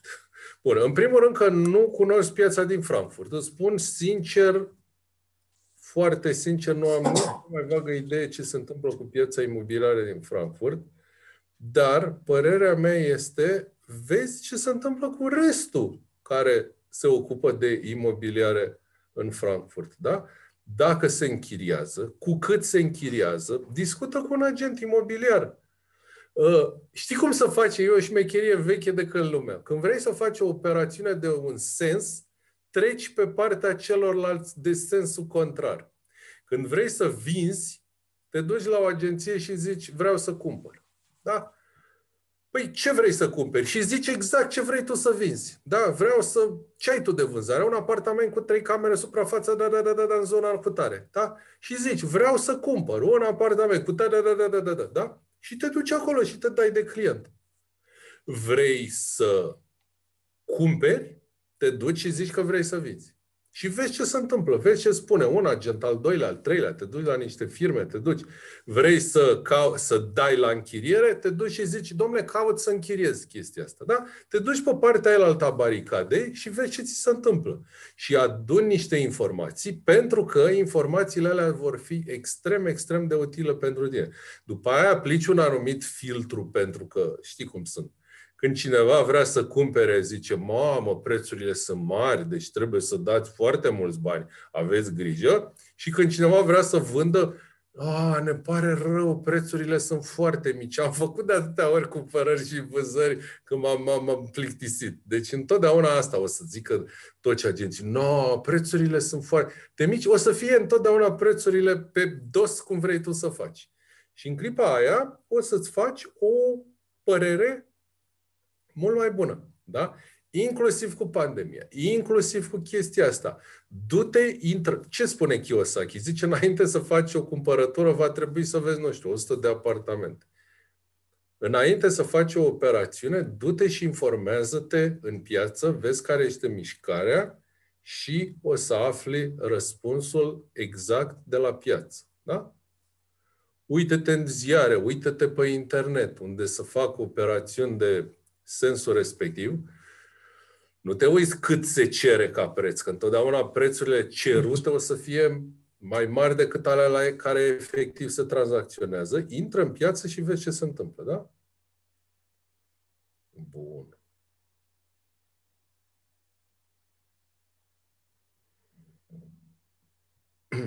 Da, Ștefan, într-adevăr. Din păcate, pentru majoritatea populației care nu are o disciplină financiară, care nu economisește decât cu biciu și are, are zero educație financiară, fondurile mutuale sau programele de la manager de fond sunt bune pentru că N-au altă variantă. Și atunci, decât să stai cu banii la bancă sau, Doamne ferește, să nu stai cu ei deloc, că ei păpat așa la sfârșitul lunii, sau s-au terminat, sau s-au rezolvat, sau, da, s-au lichidat. Ce să mai... Zice că economisește și tu ce-ți rămâne. Păi nu îmi rămâne nimic. Știi? nu rămâne nimic. Păi nu, nu, economisește înainte. Cum a venit? Venit-o întâi a economisit și după aia vezi dacă îți mai rămâne ceva. Bun. Ok. Deci aici am rezolvat că există și avantaje, există și dezavantaje ale, imobil- ale investițiilor imobiliare. Pot funcționa foarte bine pentru tine. Depinde mult de etapa în care ești, depinde de situația ta personală. Ce facem cu pandemia? Luca, asta este întrebarea. Mai funcționează investițiile imobiliare acum? mai merită să ne gândim la așa ceva? Ce părere ai? Activitate de investiție imobiliară, de dezvoltare imobiliară. Nu știu dacă se mai aude. Da, se aude. Așa că la mine apare că e, uh, conexiunea instabilă. Uh, deci, eu zic că acum ar fi momentul cel mai potrivit dacă ai niște uh, disponibilități financiare să uh, investești. Îți spun din experiența mea personală. În, uh, când am făcut uh, investiția imobiliară din 2015 ca să uh, mărim suprafața imobilului pe care îl aveam în proprietate ca să dispun afacerea soției de o o suprafață mai mare unde să-și desfășoare activitatea. Mi-a fost extrem de greu. Noi lucrăm cu aceeași, uh, aceeași echipă de, uh, de constructori deja de vreo 4 sau 5, uh, de 5 sau 6 ani. Am găsit oamenii care sunt buni profesioniști, care fac treaba când, când trebuie, o fac de calitate, prețurile sunt ok. În perioada respectivă ne-a fost extrem de greu să să îi găsim liberi. Da? Deci, fiind uh, o echipă de calitate, toată lumea trăgea de ei și nu eram numai noi singurii dezvoltatori imobiliari uh, pe care îi aveau ei în portofoliu. Știu că cel puțin încă o persoană, că tot ne ziceau că mergem la Gică, că Gică tot timpul are de lucru pentru noi. Deci, uh, evident că ei puneau cum să zic eu, clienții vechi, cum eram noi, clienții repetitivi pe lista uh, de uh, priorități, dar chiar și așa am ajuns uh, destul de greu, tot îi spuneam, dar hai că i-am spus cu câteva luni înainte, că uite, acum am banii, nu e nicio problemă, dar nu pot, uite că nu pot, trebuie neapărat să termin ce am început acolo și acum că tot am fost acolo, mi-a mai dat încă un gard de făcut și așa mai departe. Ei, acum Uh, când sunt în uh, activitate, inclusiv față de anul trecut, anul ăsta mult mai ușor am, uh, pentru că am o echipă pentru construcții, am un electrician, un alt om care se ocupă de instalații de apă și căldură și așa mai departe. Și anul ăsta mult mai ușor am putut să aduc oamenii în orizontul de timp și orarul care îmi convine mie. Asta ce înseamnă? Înseamnă că ei nu mai sunt așa de ocupați, și uh, acum este un, o, o perioadă bună în care poți să faci lucrurile cum vrei tu în uh, orizontul de timp care ți-l trebuie ție și la nivelul de calitate pe care îl vrei. Uh, asta din punct de vedere al dezvoltatorului, pentru că asta e situația mea. Mai este un avantaj. Dacă eu acum, pentru că trebuie să înțelegem, mai devreme sau mai târziu pandemia va trece. Că se întâmplă anul viitor, în vară, dacă suntem extraordinar de rocoși, că se întâmplă la începutul lui 2022, nu știu, dar va trece această pandemie.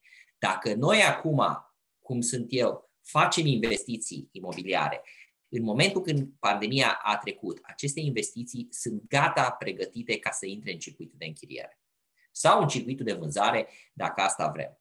Asta e un mare avantaj.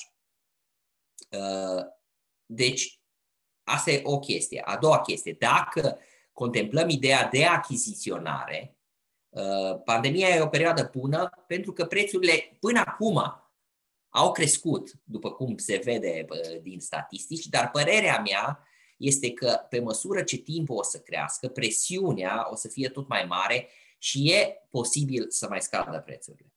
Deci, din punctul ăsta de vedere, o să vedem. Asta e o presupunere, așa zic eu că uh, o să, la un moment dat, prețurile se vor plafona. Uh, de, când? Pe măsură ce trece tot mai mult uh, timp în această situație în care ne aflăm noi acum. Că oamenii, uh, sunt anumite sectoare întregi de activitate care sunt blocate sau funcționează la, eu știu, 70, 50% din capacitate. Gândiți-vă că oamenii aia nu mai produc bani.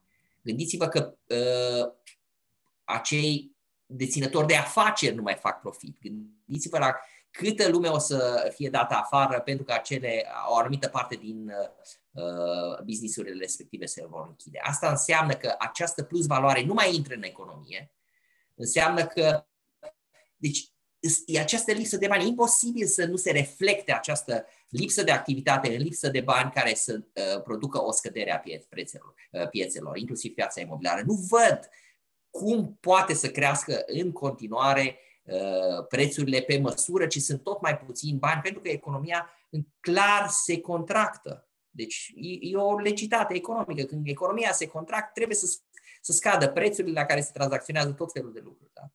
Deci eu zic că și din punctul ăsta de vedere uh, va fi uh, o posibilă oportunitate. O să vedem dacă va fi sau când și când uh, să facem niște achiziții. Mai ales în sectorul închirierilor în, pentru firme, da? spații comerciale, depozite și așa mai departe. Pentru că scade activitatea economică.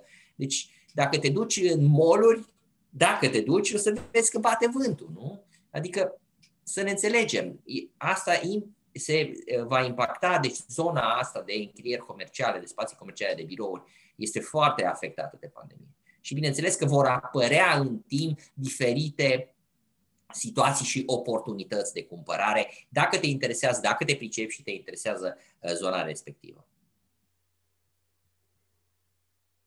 Ok. Uh, Păi Radu chiar a răspuns Luca. Într-adevăr, Luca se așteaptă ca prețurile imobiliare să mai scadă în perioada următoare. Eu zic că imobiliarele au un total alt comportament față de valorile mobiliare. Și când spun valori mobiliare, mă refer la titluri de stat, mă refer la obligațiuni, mă refer la acțiuni, mă refer la fonduri mutuale care au astfel de instrumente. Nu știu, Poate chiar și depozite bancare, deși pe alea nu prea le-aș considera investiții. Alea sunt instrumente la care, cum să spun, stai cu ochii pe ele și produc ceva într-o lună, în trei luni, în șase luni, într-un an. Și noi oamenii ne obișnuim cu chestia asta, că mă, vreau și eu să știu ce o să facă, ce o să producă. La imobiliare, jocul este cu totul diferit. Au trebuit să treacă mulți ani ca să vin la această înțelegere, imobiliarele se mișcă foarte greu, au această inerție. Uh, știți, când se apropie un vapor de port, el trebuie să oprească motoarele, că nu are frână, așa ca mașinile apasă pe frână și s-a oprit. Un petrolier, cu ce distanță înainte oprește motoarele? În jur de 100 de kilometri. Da? Pentru că are o asemenea inerție încât se va apropia de port și dacă oprește prea târziu motoarele, o să fie într-o mare problemă, va trebui să le dea înapoi, reverse și așa mai departe. Da? Uh, cam așa sunt și imobiliarele. Cine își imaginează că, mama, am cumpărat acum o chestie, am renovat într-o lună, am scos-o pe piață, s-a închiriat, încep să produc bani, din păcate, părerea mea este că are o înțelegere slabă asupra ideii de investiție imobiliară. Ideea asta de investiție imobiliară este o chestie pe termen lung și foarte lung, o chestie cu, spuneam, cu stabilitate, cu inerție mare, cu toate aceste caracteristici. Și atunci a te gândi la imobiliare prin prisma următoarelor trei luni sau șase luni este o mare capcană pentru că vei ajunge să faci exact invers. Va ajunge să vină pandemia, tu să aștepți să vezi ce o să se întâmple să vină eventual o scădere de prețuri, tu să te sperii să vinzi și după aia să vină reveniri de prețuri, tu să aștepți vreo 2-3 ani și după aia să cumperi la prețuri mari. Uh, mi se pare mult mai uh, interesantă abordarea lui Luca, în sensul că atunci când situația arată rău, tu să investești în imobiliare, să renovezi, să construiești, să produci în zona imobiliarelor și când vin momentele bune, tu stai liniștit și încasezi veniturile. Din întâmplare, mi-am făcut aici o mică listă, din întâmplare și eu am fost forțat să fac asta pentru că eu am trecut și prin criza din 2001 uh, în imobiliare, aveam o o vilă care venea din familie, stătusem împreună cu familia acolo, părinții mei s-au mutat într-un apartament, eu m-am mutat în alt apartament și uite așa a ajuns vila respectivă să fie închiriată și în anul 2001, nu numai că a plecat chiriașul, dar am stat și vreo patru luni cu ea liberă, așteptând să vină un chiriaș care n-a mai venit. Dispare cererea, dispar banii din piață, chirile scad și tu ce faci? Aia este problema. Eu am avut marea șansă că am folosit această, acea oportunitate pentru a face mansardarea vilei. Am transformat uh, podul. Era un pod, 100%. Mă rog, aveai loc acolo, l-am, am ridicat uh, pereții, am câștigat mai multă înălțime, am imobiliat, am uh, amenajat mansarda au fost lucrări mari cu autorizație de construire, cu proiecte. A fost o nebunie întreagă, au durat, nu știu, vreo 8-9 luni, aproape un an de zile și am folosit această oportunitate pentru a câștiga foarte mult spațiu. Și după aia am scos-o la închiriere. Știți ce s-a întâmplat? Au venit câteva vizite, un singur, o singură firmă a fost interesată, care, având în vedere un spațiu mult mai mare ca înainte, a oferit o chirie semnificativ mai mică și am semnat și am rămas cu ei vreo trei ani de zile. Da? Asta se întâmplă în perioade de criză. Trebuie să știi și să te aștepți. Ce s-a întâmplat în 2008-2009? Deja știam. Știam că cererea e mai mică, știam că prețurile scad. E bine, am avut surpriza să se prăbușească cu vreo 40-45%. Am închiriat în condițiile astea și m-am pregătit de o operațiune imobiliară și în 2011 am, mă rog, am luat un credit în 2009 și am mai vândut niște proprietăți și în 2011 m-am apucat să construiesc când, culmea, am avut norocul să prind niște prețuri foarte mici. Deci, asta vreau să spun că uh, genul ăsta de gândire contrariană sau genul ăsta de comportament te poate ajuta să nu cumperi în momentele alea de boom și să nu vinzi în momentele astea de scădere. Recunosc că în anul 2020 am primit o lovitură mare când mi-am dat seama că unii chiriași pot fi afectați foarte mult să ajungă, chiar mi-au propus chirie zero și chiar am acceptat pe o lună chirie zero, am acceptat pe două luni reduceri de, nu știu, 70% ale chiriei. Uh, da, S-a întâmplat. Marele noroc a fost că având mai mulți chiriași și fiind diversificați, am inclusiv un salon de coafură. Vă dați seama, au stat oamenii aia blocați două luni. Eu ce era să le zic? Că nu accept nicio negociere să-mi dea chiria, nu? Însemna să fiu ridicol. A fost o lecție foarte bună pentru mine că inclusiv la imobiliare este bine să ai o anumită diversificare și atunci aș uh, avea în vedere aceste lucruri, aș avea în vedere aceste momente, tocmai pentru a face acest lucru, inclusiv în zona de imobiliare. Deci, faptul că tu nu ești pregătit să stai cu proprietatea ta goală trei luni, faptul că tu nu ești pregătit să încasezi o chirie jumătate, crede-mă, este problema ta, nu este problema imobiliarelor. Da, și mai este un aspect. Uh, acum să fim sinceri, nu văd de ce ar trebui să fii legat numai de sursele de venit pasiv.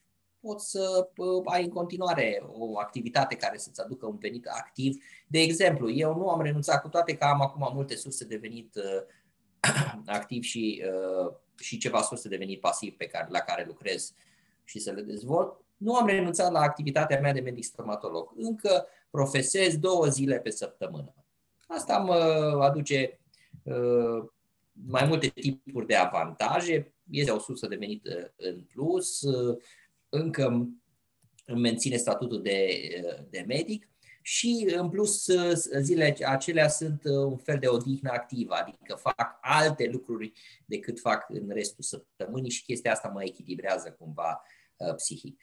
Deci ar fi o problemă dacă, într-adevăr, ai avea numai proprietăți imobiliare și numai de pe ele uh, ai avea venituri. Dar ar fi bine să te gândești, uh, și eu asta sunt un, un mare suporter al multiplelor surse de venit, uh, dacă e posibil, din diferite zone, inclusiv să ai și surse de venit activ și atunci, asigur, orice lucru care vine spre tine, orice situație deosebită, cum e situația de acum, nu mai produce, eu știu, o, debalansare majoră a veniturilor tale și a situației economice pe care o ai. Să mai răspundem la niște întrebări. Teodora ne întreabă cum am proceda cu o sumă în lei dacă am uh, dorit să cumpărăm titluri de stat. Ai uh, dat acolo exact răspunsul meu. Aș investi și în titlul în lei și în titlul în euro. Cu siguranță n-aș păstra toți banii în euro, în lei, din principiu, cu siguranță n-aș păstra toți banii în euro, tot din principiu. De ce? Pentru că la lei găsești oportunități bune, la lei există obligațiuni corporative cu 8, cu 9% dobândă pe an și cu toată deprecierea cursului valutar, să zicem că ai o depreciere de, nu știu, istoric e undeva pe la 2,5% deprecierea leului față de euro, 2,5% pe an în medie. Să zicem că ai un an prost, pierzi, nu știu, 3-4% pe cursul valutar, dar dacă ai niște obligațiuni corporative cu 9%, tot obții net 5%, ceea ce e binișor. Pe de altă parte, trebuie să ai și niște euro, pentru că nu știi ce se poate întâmpla cu leul și atunci este prudențial, este prudent să ai și un gen de ăsta de diversificare, deși la euro vei avea foarte puține tipuri de investiții, mai ales cu risc mic, sigur, poți să investești în acțiuni, nu e nicio problemă. Dar uh, uh, eu sunt mare fan al investițiilor uh, diversificate. Asta sunt, asta, asta cred eu. Și apropo de investițiile diversificate și revin imediat la uh, întrebarea cu uh, dobânda compusă, părerea mea personală este că uh, Unu, ideal ar fi să existe o diversificare și în imobiliare, mai ales dacă te afli spre ultima treime a portofoliul tău sau, ca să zic mai spre românește, spre ultima treime a vieții, da? Pentru că dacă ai pus și tu bani la bani și ți-ai băgat toate economiile într-un apartament frumos, de patru camere, 100 și ceva de mii de euro, și ai problema să, nu știu ce să se întâmple, să se construiască un bloc în față, să îți plece chiriașul, să să spargă o țeavă de la ala de deasupra, habar n-am, și să rămâi șase luni fără venituri, ă, s-ar putea să fie cam nasol.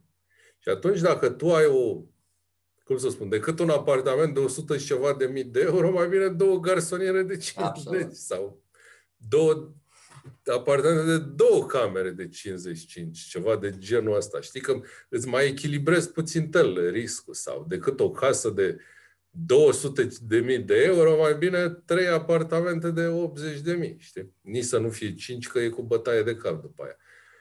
Așa, deci o diversificare între tipurile de imobiliare și pe de altă parte, eu aș opta pentru o diversificare pe tipurile de investiții. Adică mi-ar plăcea ca o parte din fondul de urgență și niște bani să iau în titluri de stat, pentru că sunt sigure, pentru că sunt lichide, pentru că se listează pe bursă și atunci pot cu un click să le vând și știm cu toții, imobiliarele nu putem să le vindem nici cu un click, nici cu două și nici cu trei. Uh, pe de altă parte, aș opta și pentru niște active mai riscante, poate ca obligațiunile corporative sau ca acțiunile, mai ales dacă sunt tânăr, pentru că fiind tânăr am un orizont de cât 20-30 de ani la dispoziție și atunci nu mă interesează că acțiunile cresc, scad, că vine pandemia și așa mai departe. Eu am un program de investiții lunar și atunci cumpăr indiferent dacă prețurile cresc sau scad și pe o perioadă lungă de timp de minim 10 ani, statisticile au arătat că strategiile astea diversificate chiar funcționează. Eu înțeleg că noi nu vedem pădurea din cauza copacilor, că stăm așa în fața copacului și nu vedem ce se întâmplă în jurul nostru. Chiar întrebase cineva, zicea că stă cu banii de câțiva ani să aștepte o investiție. Păi de ce să stai cu banii blocați de câțiva ani și să nu îi împarți pe niște bucățele mai mici și să-i investești în niște instrumente și să-i rulezi și să funcționeze, să funcționeze roata. Adică asta mi se pare mie. De ce trebuie să fie totul sau nimic? De ce trebuie să fie totul lei sau euro? De ce trebuie să fie apartamentul vechi sau apartamentul nou? De ce trebuie să fie aia sau aia și nu să poate o combinație de asta, o, o diversificare care să fie și cu puțin de aia, și cu puțin de aia, și cu puțin și care îți aduce și mai multă siguranță la lung și mai multă stabilitate și, culmea, profituri mai mari la lung. Și dacă se întâmplă să greșești pe o zonă și, bă, culmea, uite, am stat 5 ani cu bani în investiția și am luat, nu știu, 5% după 5 ani. Nimic ca toată. Am înțeles, dar în același timp ai avut-o pe aia care a produs bine, ai avut-o pe aia care a produs bine și per total portofoliu ești bine. Oamenii au părerea asta, domnule, eu trebuie să trag losul câștigător, eu trebuie să mă informez, să întreb oameni, uh, meseriași, specialiști, analiști care fac chestia să-mi zică ei care este lozul câștigător și pe ăla trebuie să-l trag. Și asta este o mare păcăleală. După mulți ani de făcut investiții, mi-am dat seama că nu lozul câștigător te interesează, ci lozul pierzător te interesează. Te interesează să nu-ți pariezi toți banii pe lozul pierzător. Te interesează să nu faci investiții cu sume mari, investiții foarte riscante, să nu pierzi mult. Asta fac oamenii, din păcate, să apucă să facă trading, să investească în tot felul de scheme piramidale și tot felul de nebunii, în speranța unor câștiguri mari, fără să-și dea seama că, de fapt, pierderile mari sunt cele care te, te nebunesc. Uh, nu faptul că tu, în loc să ai un câștig de 7%, pan ai avut 6. Ok. Sau 5. Ok. Păi eu îmi doresc să am 5% timp de 20 de ani câștig constant, decât să am 2 ani cu 10% și după aia încă 10 cu 0 sau un an cu minus 80%. Da? Asta este ideea. Nu trebuie să ne ferim de câștiguri medii. Trebuie să ne ferim de pierderi mari. Și pierderile mari să fac prin greșeli mari. Și greșelile mari sunt cele pe care trebuie să le evităm. Nu să pariem, să căutăm întotdeauna să pariem care este calul câștigător, care este cartea câștigătoare și pe ea trebuie să pariem. Aia este părerea mea.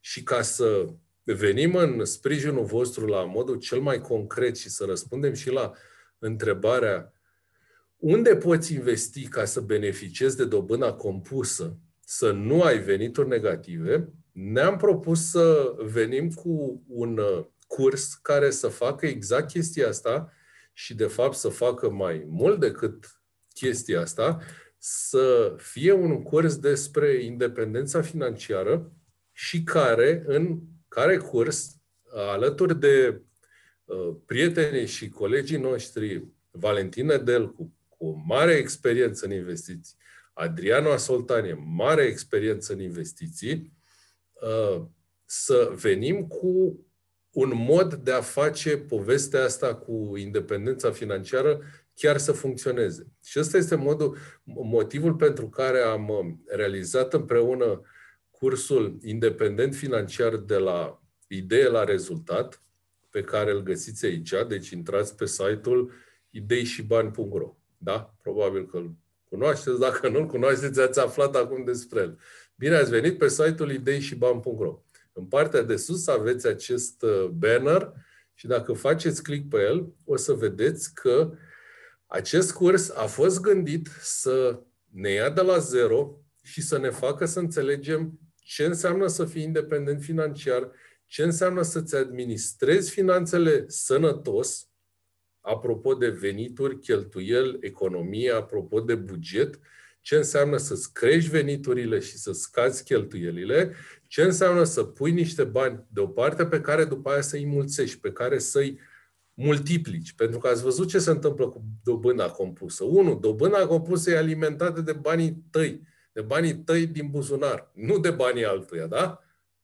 Și doi, dacă nu ai dobândă compusă, o să sfârșești în final cu puțin peste rata inflației, dacă reușești să obții și rata inflației. Deci ăsta este pericolul. Și atunci trebuie să, unu, trebuie să înțelegi cum funcționează lucrurile. Trebuie să numește mindset, da? Trebuie să înțelegi cum funcționează independența financiară și cum o să o construiești și trebuie să înțelegi cum să eviți păcălelile alea, capcanele alea mari, capcanele randamentelor mari, capcanele uh, schemelor piramidale. Hai să facem mulți bani, uite, am eu o schemă, facem 10% pe lună. Pe bune, faci 10% pe lună timp de 3-4 luni și după aia pierzi 100%, da? Nu este asta o idee, da? Capcanele, inclusiv credințele limitative și sabotorii care sunt aici, în mintea noastră, și care ne împiedică să vedem pădurea din spatele copacilor.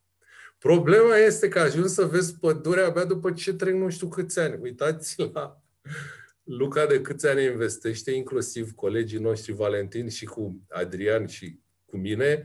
Investim de foarte multă vreme, am făcut foarte multe greșeli și e păcat să trebuiască să faci atâtea greșeli ca să înțelegi ce funcționează. E mult mai ușor să vină cineva să spună, băi, fii atent, chestia asta nu merge, asta nu merge, asta merge în anumite condiții, chestia aia merge ca un vis întotdeauna. Investițiile pasive merg superb pe o perioadă de cel puțin 10 ani. Da?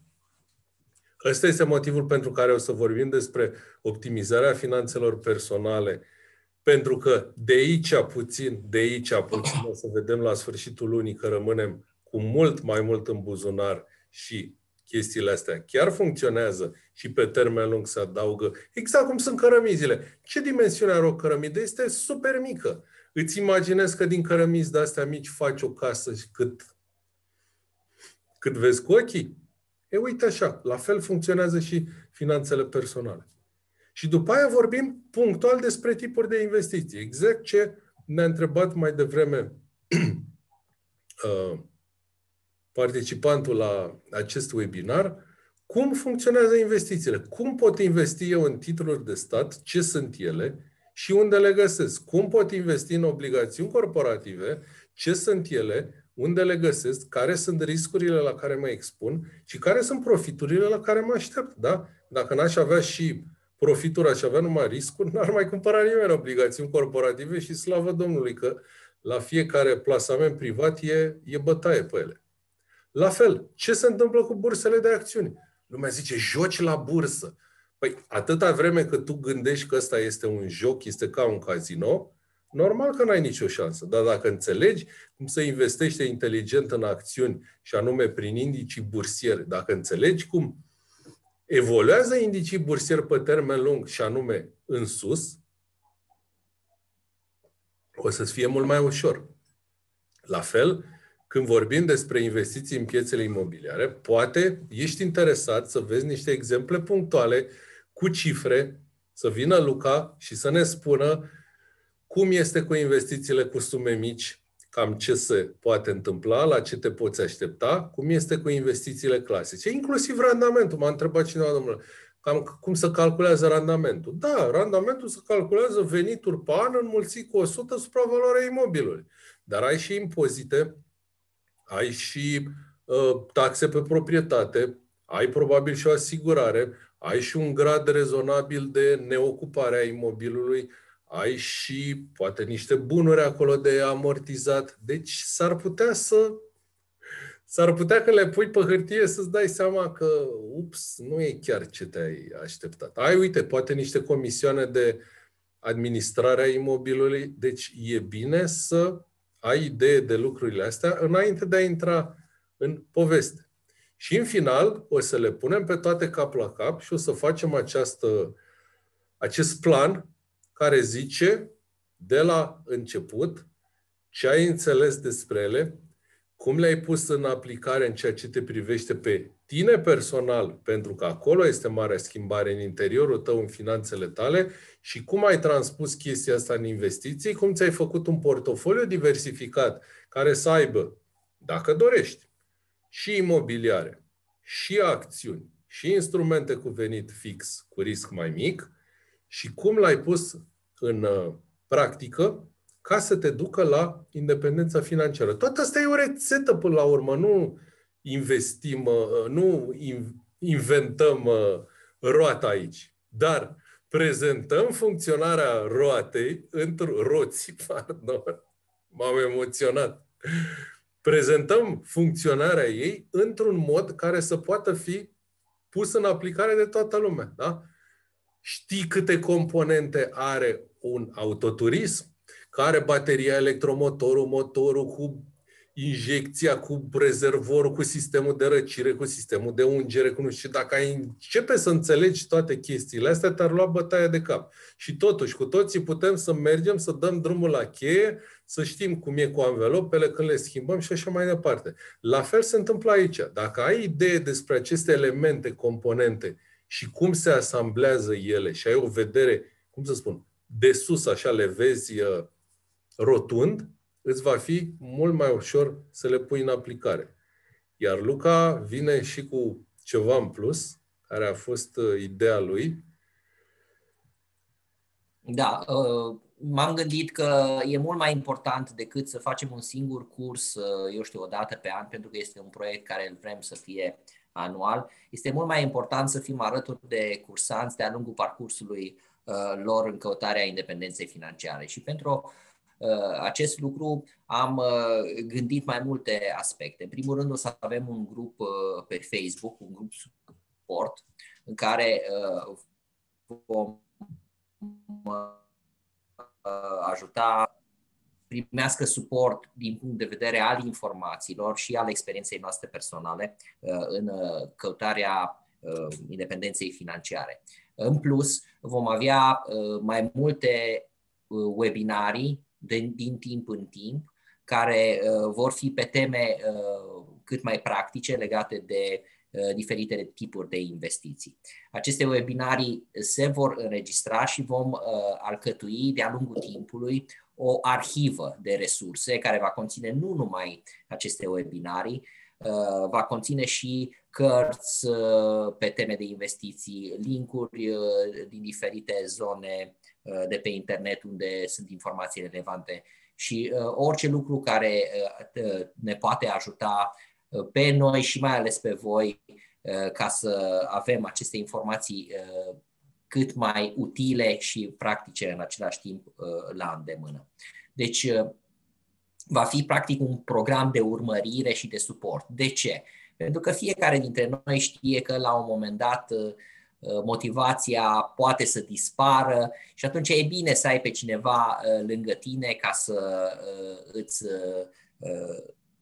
îți dea, cum, se zic, cum zice românul, orice șut în fund este un picior înainte, un, un pas înainte. Deci e bine să fie cineva lângă tine care să uh, îți crească motivația și să-ți arate prin uh, exemplu personal că lucrurile merg în direcția bună, trebuie doar să fii acolo prezent și să faci uh, zi de zi și săptămână de săptămână ceea ce trebuie făcut ca să ajungi la independența financiară.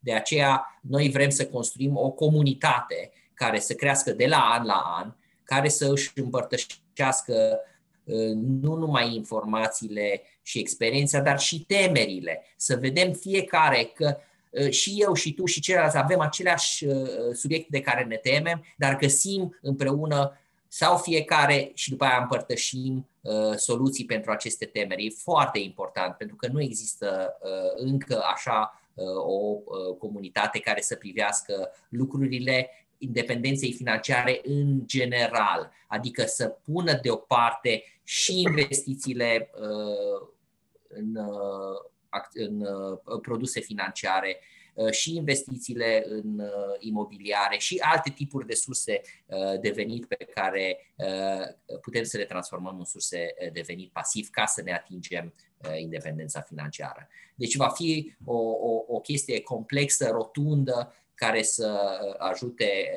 membrii clubului să meargă mai departe an de an.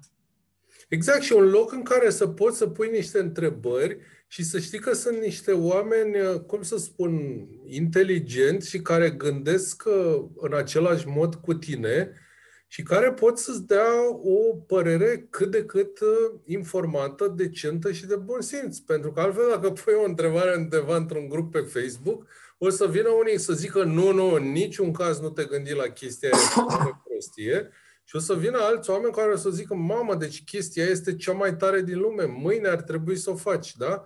Și în clipa în care vine niște oameni așa mai cu părul alb, cum să zic, unițică de experiență și zic, bă, uite, știi că chestia asta am făcut-o și eu și au făcut-o și alții și uite ce s-a întâmplat bine și ce nu s-a întâmplat bine, atunci deja cam cam știi la ce te aștept și nu e unul, sunt mai mulți cei care au o anumită experiență și atunci este, este mult, mai, mult mai ușor. Gândește-te că majoritatea cursurilor sunt, domnule, te-ai dus la curs, ai învățat ce a zis omul ăla și sunt niște chestii foarte ok, te duci acasă și le pui în aplicare. E, guess what? Când ajungi acasă, le pui tu ce le pui în aplicare, dar la un moment dat mai ai niște semne de întrebare. Ce mai faci? Păi te duci acolo pe grupul respectiv și acolo discutăm. Da? Și pentru că tot ne aflăm la, într-o zi de vineri care este celebră ca Black Friday, că în luna noiembrie toate sunt Black. Da? Cum prinzi o vineri este Black Friday. În afară de Luca, care a avut și el o Black Friday, doar că n-a fost nici Black și nici Friday. A fost pe 11, a 11, ceea ce într-adevăr suna foarte bine. Da? atunci ne-am gândit să venim în sprijinul vostru cu o ofertă specială care va dă un discount de 25% la oricare din aceste pachete. Pachetul Silver conține doar participarea la curs și materiale suport, pentru că din experiență știm că există unii care sunt interesați doar de informația minimală și zice, lasă o iau eu acasă, știu eu ce să fac cu ea. Foarte bine. Există pachetul Gold unde primiți, pe lângă participarea la cursul din 21 noiembrie, și o sesiune de întrebări și răspunsuri dedicată la sfârșitul acelui curs, primiți și înregistrările video și programul de sprijin exclusiv de care va vorbit Luca cu grupul secret de Facebook, webinariile, arhiva și resurse educaționale și pentru cei care aveți mai multe întrebări și vreți să vedeți, ok, eu personal am o situație. Am niște bani puși deoparte, n-am niște bani, am un apartament, l-am primit cadou, l-am moștenit, vreau să-l vând, vreau să-l cumpăr, vreau să nu știu ce. Nu știu cum e cu euro, cum e cu dolari, cum e cu lei. Poți să-mi dai niște sfaturi? Pentru ei am pus, am asamblat un pachet care conține și o ședință de consultanță cu mine și una cu Luca, în care ne întâlnim face-to-face, bine, online, ca așa cu distanțarea, și vorbim despre situația ta particulară și dăm cu variante ce știm noi din experiența noastră și putem vedea ce ți se potrivește ție și ce nu. Deci, codul este webinar, tot ce trebuie să faci este apeși pe vreau cursul, intri automat în uh, coș și aici ai zona de cupon, aici pui cuponul webinar și vezi că din suma respectivă o să scadă un sfert. Asta este uh, oferta noastră specială. Atenție, este valabilă doar până duminică seara la ora 23.59, cum se spune. Este o ofertă specială, nu de alta, dar locurile la curs se ocupă foarte repede și este clar că există un interes foarte mare și atunci vrem să venim ca o recompensă pentru cei interesați, pentru cei motivați și cei care își dau seama, uite, chestia asta ar putea să mi se potrivească mie, aș putea să învăț din asta multe lucruri utile, vrem să venim cu o ofertă specială pentru că așa este frumos și ăsta este scopul cursului. Scopul cursului este să câștigi tu și să fii tu câștigat, nu noi. Noi, din fericire, mulțumim lui Dumnezeu, suntem deja independenți financiari, asta nu este o, uh, o problemă, dar vrem ca tu să fii câștigat și atunci ăsta este modul în care vrem să te încurajăm. Dacă nu este pentru tine această ofertă, nu este nicio problemă, noi în continuare avem informații puse la dispoziție gratuit, le poți găsi pe site, eu am și un uh, canal de YouTube pe care poți să intri și nu este nicio problemă. Bun, mai avem aici niște întrebări. O să postați înregistrarea după, pentru că e foarte valoroasă.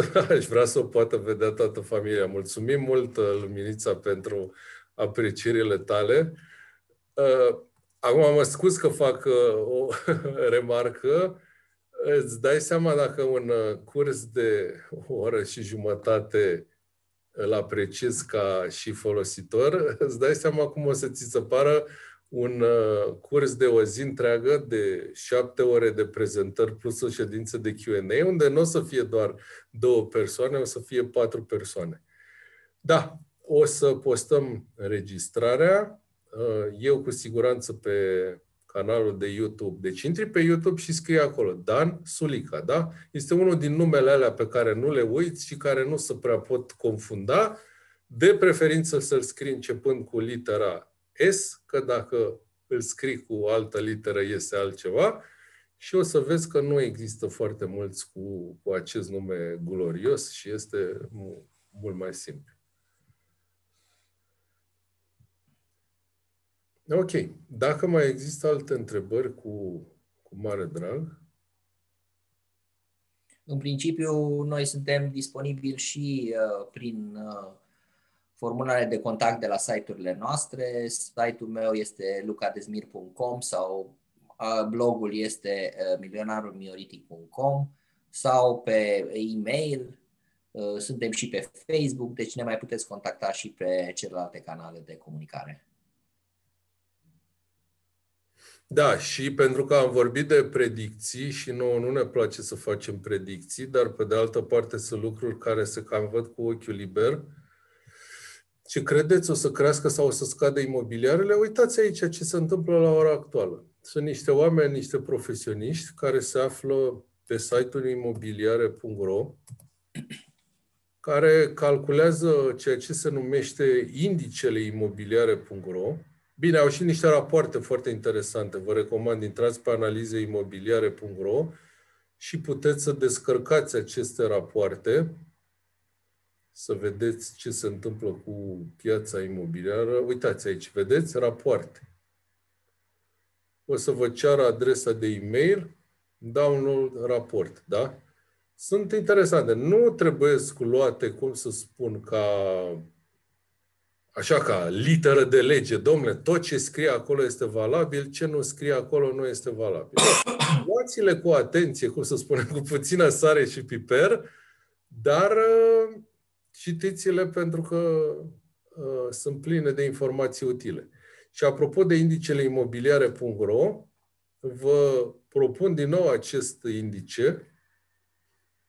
Uitați ce s-a întâmplat la nivel de țară cu vârful din uh, luna, mă rog, martie și uitați această scădere mică, dar evident. Da? Dacă ne trebuie spus că scăderea, mă scuz Dan, trebuie spus că scăderea trebuie privită în contextul întregului grafic. în exact. sensul că asemenea scăderi de mai multe luni decât două, trei uh, uh, luni nu, nu mai sunt prezente în rest, decât în timpul Corect. crizei financiare din 2008-2009, da? Deci numai exact. acolo au mai scăzut consecutiv atâtea luni prețurile. Corect. Corect. S-a mai întâmplat din când în când, însă au fost lucruri disparate. Faptul că sunt atâtea luni în care avem un ușor trend, dar totuși clar descendent, asta ar putea pentru noi să însemne ceva. De exemplu, uitați, astea sunt prețurile din uh, București, da? Avem și prețuri din uh, Timișoara, pentru că Luca e mult mai familiar probabil cu piața da. din Timișoara. Nu este o scădere mare, dar totuși este o mică corecție. Atenție! Spre deosebire de București, uitați de la ce valori înalte venea Timișoara. Venea practic de la valorile din 2008, adică exact. la Domnului are de unde să, să mai corecteze puțin, da? Și dați-mi voie să vă arăt graficul pentru Cluj, care mie mi se pare că arată de-a dreptul genial. Uitați cât de sus se află față de maximele din 2008 și mai uitați că nu prea, nu prea vedem... Nu prea corectează. Da? E mai mult așa, ca bolnavul închipuit. Ne place nouă să vedem aici o scădere, dar cu adevărat nu prea e nicio scădere. Da? Deci, uitați, față de luna 10 din 2019, un plus aproape 9%. Da? Nu știu ce să zic. Eu n-aș, mi-ar fi greu să cumpăr la, la nivelurile astea ridicate, mi-ar fi foarte greu. Și dați-mi voie să vă spun o modalitate prin care îți poți minimiza riscul, care este, cum spunea și Luca, dezvoltarea imobiliară. În clică în care cumperi un apartament, eventual la, la gata, așa, la, la cheie, la milimetru, plătești un plus pe când, pe de altă parte, dacă cumperi un teren și tu construiești acolo o casă, automat, în clipa în care ai terminat construcția, un 20, dacă nu cumva 25%, ai profit în secunda aceea, când ai terminat. Dacă lucrezi corect, dacă nu te fură cineva, dacă nu se întâmplă evenimente de astea. Nu e un sfat de investiție, este însă o experiență pe care am văzut-o în jurul meu și care așa se întâmplă. La fel cum e cu, cu fondurile mutuale. Ce discutam despre fonduri mutuale? În clipa în care investești într-un fond mutual, este bine că tu nu te prea pricepi și altcineva face investițiile pentru tine, dar atenție că profitul îl cam împarți cu acea persoană și îl cam împarți așa, aproximativ 50-50. Deci trebuie să ai grijă. Este ca diferența între a merge cu taxiul și a merge cu propriul autoturism. Da, când mergi cu taxiul pe distanțe scurte, mergi o dată, de două ori, de cinci ori, de zece ori, dar dacă vrei să te duci în vacanță cu taxiul, s-ar putea să nu prea meargă bine. Dacă vrei să investești în fonduri mutuale 10 ani, s-ar putea să-ți dai seama că ai pierdut destule multicel din dobânda compusă pe 10 ani. Dacă ești începător și folosești această variantă ca să începi, știu și eu, 6 luni, un an, 2 ani, până te-ai dumirit care-i treaba, care-i mersul pieții, o, oh, e superb, e, e excelent, da? Cam asta ar fi diferența. Bun, ă, dacă mai aveți alte întrebări cu mare drag, dacă nu, oricum ne găsiți. Adresa mea de e-mail este danarond.ideishiban.ro A mea este ă, lucadezmir.gmail.com Ok. Noi vă mulțumim pentru participare, vă mulțumim pentru interesul vostru. Veți găsi înregistrarea postată pe uh, site. Uite, mai avem o întrebare. Uh, Fidelis e cea mai bună variantă momentan? Răspunsul meu este da. Eu cred că titlurile de stat Fidelis, cele care vor fi listate pe bursă, sunt mai bune decât titlurile din uh, emisiunea care nu vor fi listate pe bursă, sunt disponibile doar la trezorerie și doar la prin poștă, pentru simplu motiv că sunt flexibile. Și pe bursă poți face un click sau două sau trei și le vinzi. Și știi care e culmea dincolo de două, trei sau clicuri? Că interesul a fost atât de mare pentru ele, încât s-au tranzacționat și se tranzacționează la ora actuală peste valoarea nominală. Adică dacă tu dai pe ele 100 de lei bucata, s-ar putea să ai surpriza plăcută ca pe bursă să le poți vinde cu 101 lei sau cu 102 lei și să-ți dai seama că ai încasat și dobânda la zi și l-ai vândut și cu un mic profit. Sigur, profitul ăsta nu poate să ți-l garanteze nimeni, dar dacă lucrurile o să stea cam ca până acum, o să existe un astfel de profit. Și atunci s-ar putea să-ți placă chestia asta. Și știi care e culmea? Că acest profit există nu numai la cele în lei, există și la cele în euro. Și gândește-te cum este să ai o investiție cu, știu și eu, 2% pe an în euro și la vânzare să mai primești un 1% bonus. Bun, nu o să te îmbogățească niciodată chestia asta, este clar. Dar mă refer de acele mici bucățele care sunt pentru tine și sunt în favoarea ta pentru că tu te ocupi de propriile tale investiții, spre deosebire de acele bucățele pe care tu le dai managerului tău de cont, care ce face? Investește tot în titluri de stat, tot în obligațiuni și tot în acțiuni, că nu există alte instrumente, știi? Și atunci, pentru faptul că o face un manager, plătești o anumită chestie, pe când pentru faptul că o faci tu, primești un anumit bonus. Asta este uh, diferența între a învăța să faci ceva și a o face tu singur, mai ales că nu-ți ocupă timp, energie, preocupare multă, și a plăti pe altcineva să facă chestia asta. Uh, la ora, da, ele se tranzacționează prin broker. Deci trebuie să ai un broker uh, de care să-ți ofere bursa de valori București. Eu personal uh, folosesc TradeVille de multă vreme, dar am conturi deschise și la Banca Transilvania Capital Partners, BT Capital Partners, foarte serios și ei. Am uh, folosit mulți ani Goldring, foarte serios și ei. Mai există broker, BRK, din Cluj, deci găsești broker serios și îți poți deschide un cont online, nu e nicio problemă. Chiar zilele trecute am deschis să-ți iei cont și astăzi s-a activat. I-am zis, nu, nu, trebuie să înveți și tu ce se întâmplă cu astea și a văzut că nu e chiar așa complicat și funcționează. Da, Veronica, ai dreptate. Acum la Fidelis dobânda a scăzut la 1,85 față de iulie unde am avut 2%. Ai perfectă dreptate. Dar știi de ce a scăzut dobânda? Pentru că a scăzut dobânzile în piețele internaționale, au scăzut dobânzile în piața interbancară și și așa dobânda oferită de statul român nouă persoanelor fizice este mult mai mare decât dobânda la care se împrumută statul român din piețele interbancare. Chiar azi am citit un raport în care spunea că statul a vândut titluri de stat în lei cu scadența în 2026. Atenție, 2026, deci peste 6 ani, cu o dobândă de 2,7% pe an. Adică nouă ne dă o dobândă de 3% pentru un singur an și dacă optăm pentru titlurile în lei, ne dă 4%, pardon, 3,5, scuze. Ne dă 3,5 pentru un an și 4% pentru 3 ani și el de pe piața liberă se împrumută cu 2,7 pe 6 ani. Cu cât e scadența mai mare, cu atât trebuie să fie dobânda mai mare. Ei, asta se întâmplă se întâmplă că statul, uite, e generos către persoanele fizice, îi mulțumim cu această ocazie, dar acest 1,85 în euro este mult mai bun decât vei obține la orice altă bancă în depozite bancare. Da? Asta este realitate.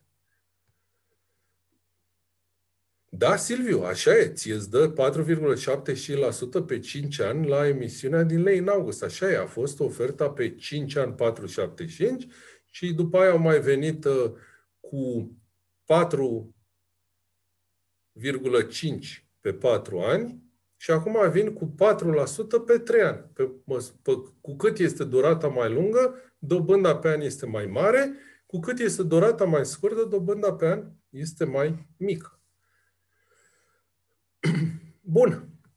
Uh, în concluzie, Dacă vă interesează să aflați întreaga poveste de la cap la coadă și nu așa bucățele, dacă vă interesează să aflați ce se întâmplă la nivel de înțelegere a instrumentelor de investiții, de finanțe personale la nivel de mindset, ce se întâmplă la nivel de finanțe personale, de optimizare și ce se întâmplă la nivel de portofoliu diversificat de investiții, vă garantăm că veți obține toate aceste elemente într-un mod coerent, funcțional și eficient la cursul independent financiar și garanția este cât să poate de serios. Aveți garanție money back, deci nu aveți absolut nimic de pierdut dacă nu sunteți mulțumiți de aceste informații primite. În plus, dacă alegeți unul din pachetele Gold sau VIP, aveți posibilitatea să beneficiați de susținerea noastră și a colegilor participanți lifetime prin metodele uh, pe care le-am descris, grupul de Facebook, webinarii și așa mai departe. Este un curs unic în România, nu mai există așa ceva, există cursuri de investiții, chiar eu am făcut cursuri de investiții, dar cursul de independență financiară e un alt gen de concept. Aveți o ofertă specială cu titlul, cu codul de reducere webinar. Eu vă urez mult succes, vă mulțumesc pentru participare și, în orice caz, nu uitați că un om informat este un om mai bogat, puneți în aplicare aceste noțiuni și veți avea numai de câștigat. Mulțumim frumos pentru participare și vă așteptăm la curs. Cu mare drag! Seară bună!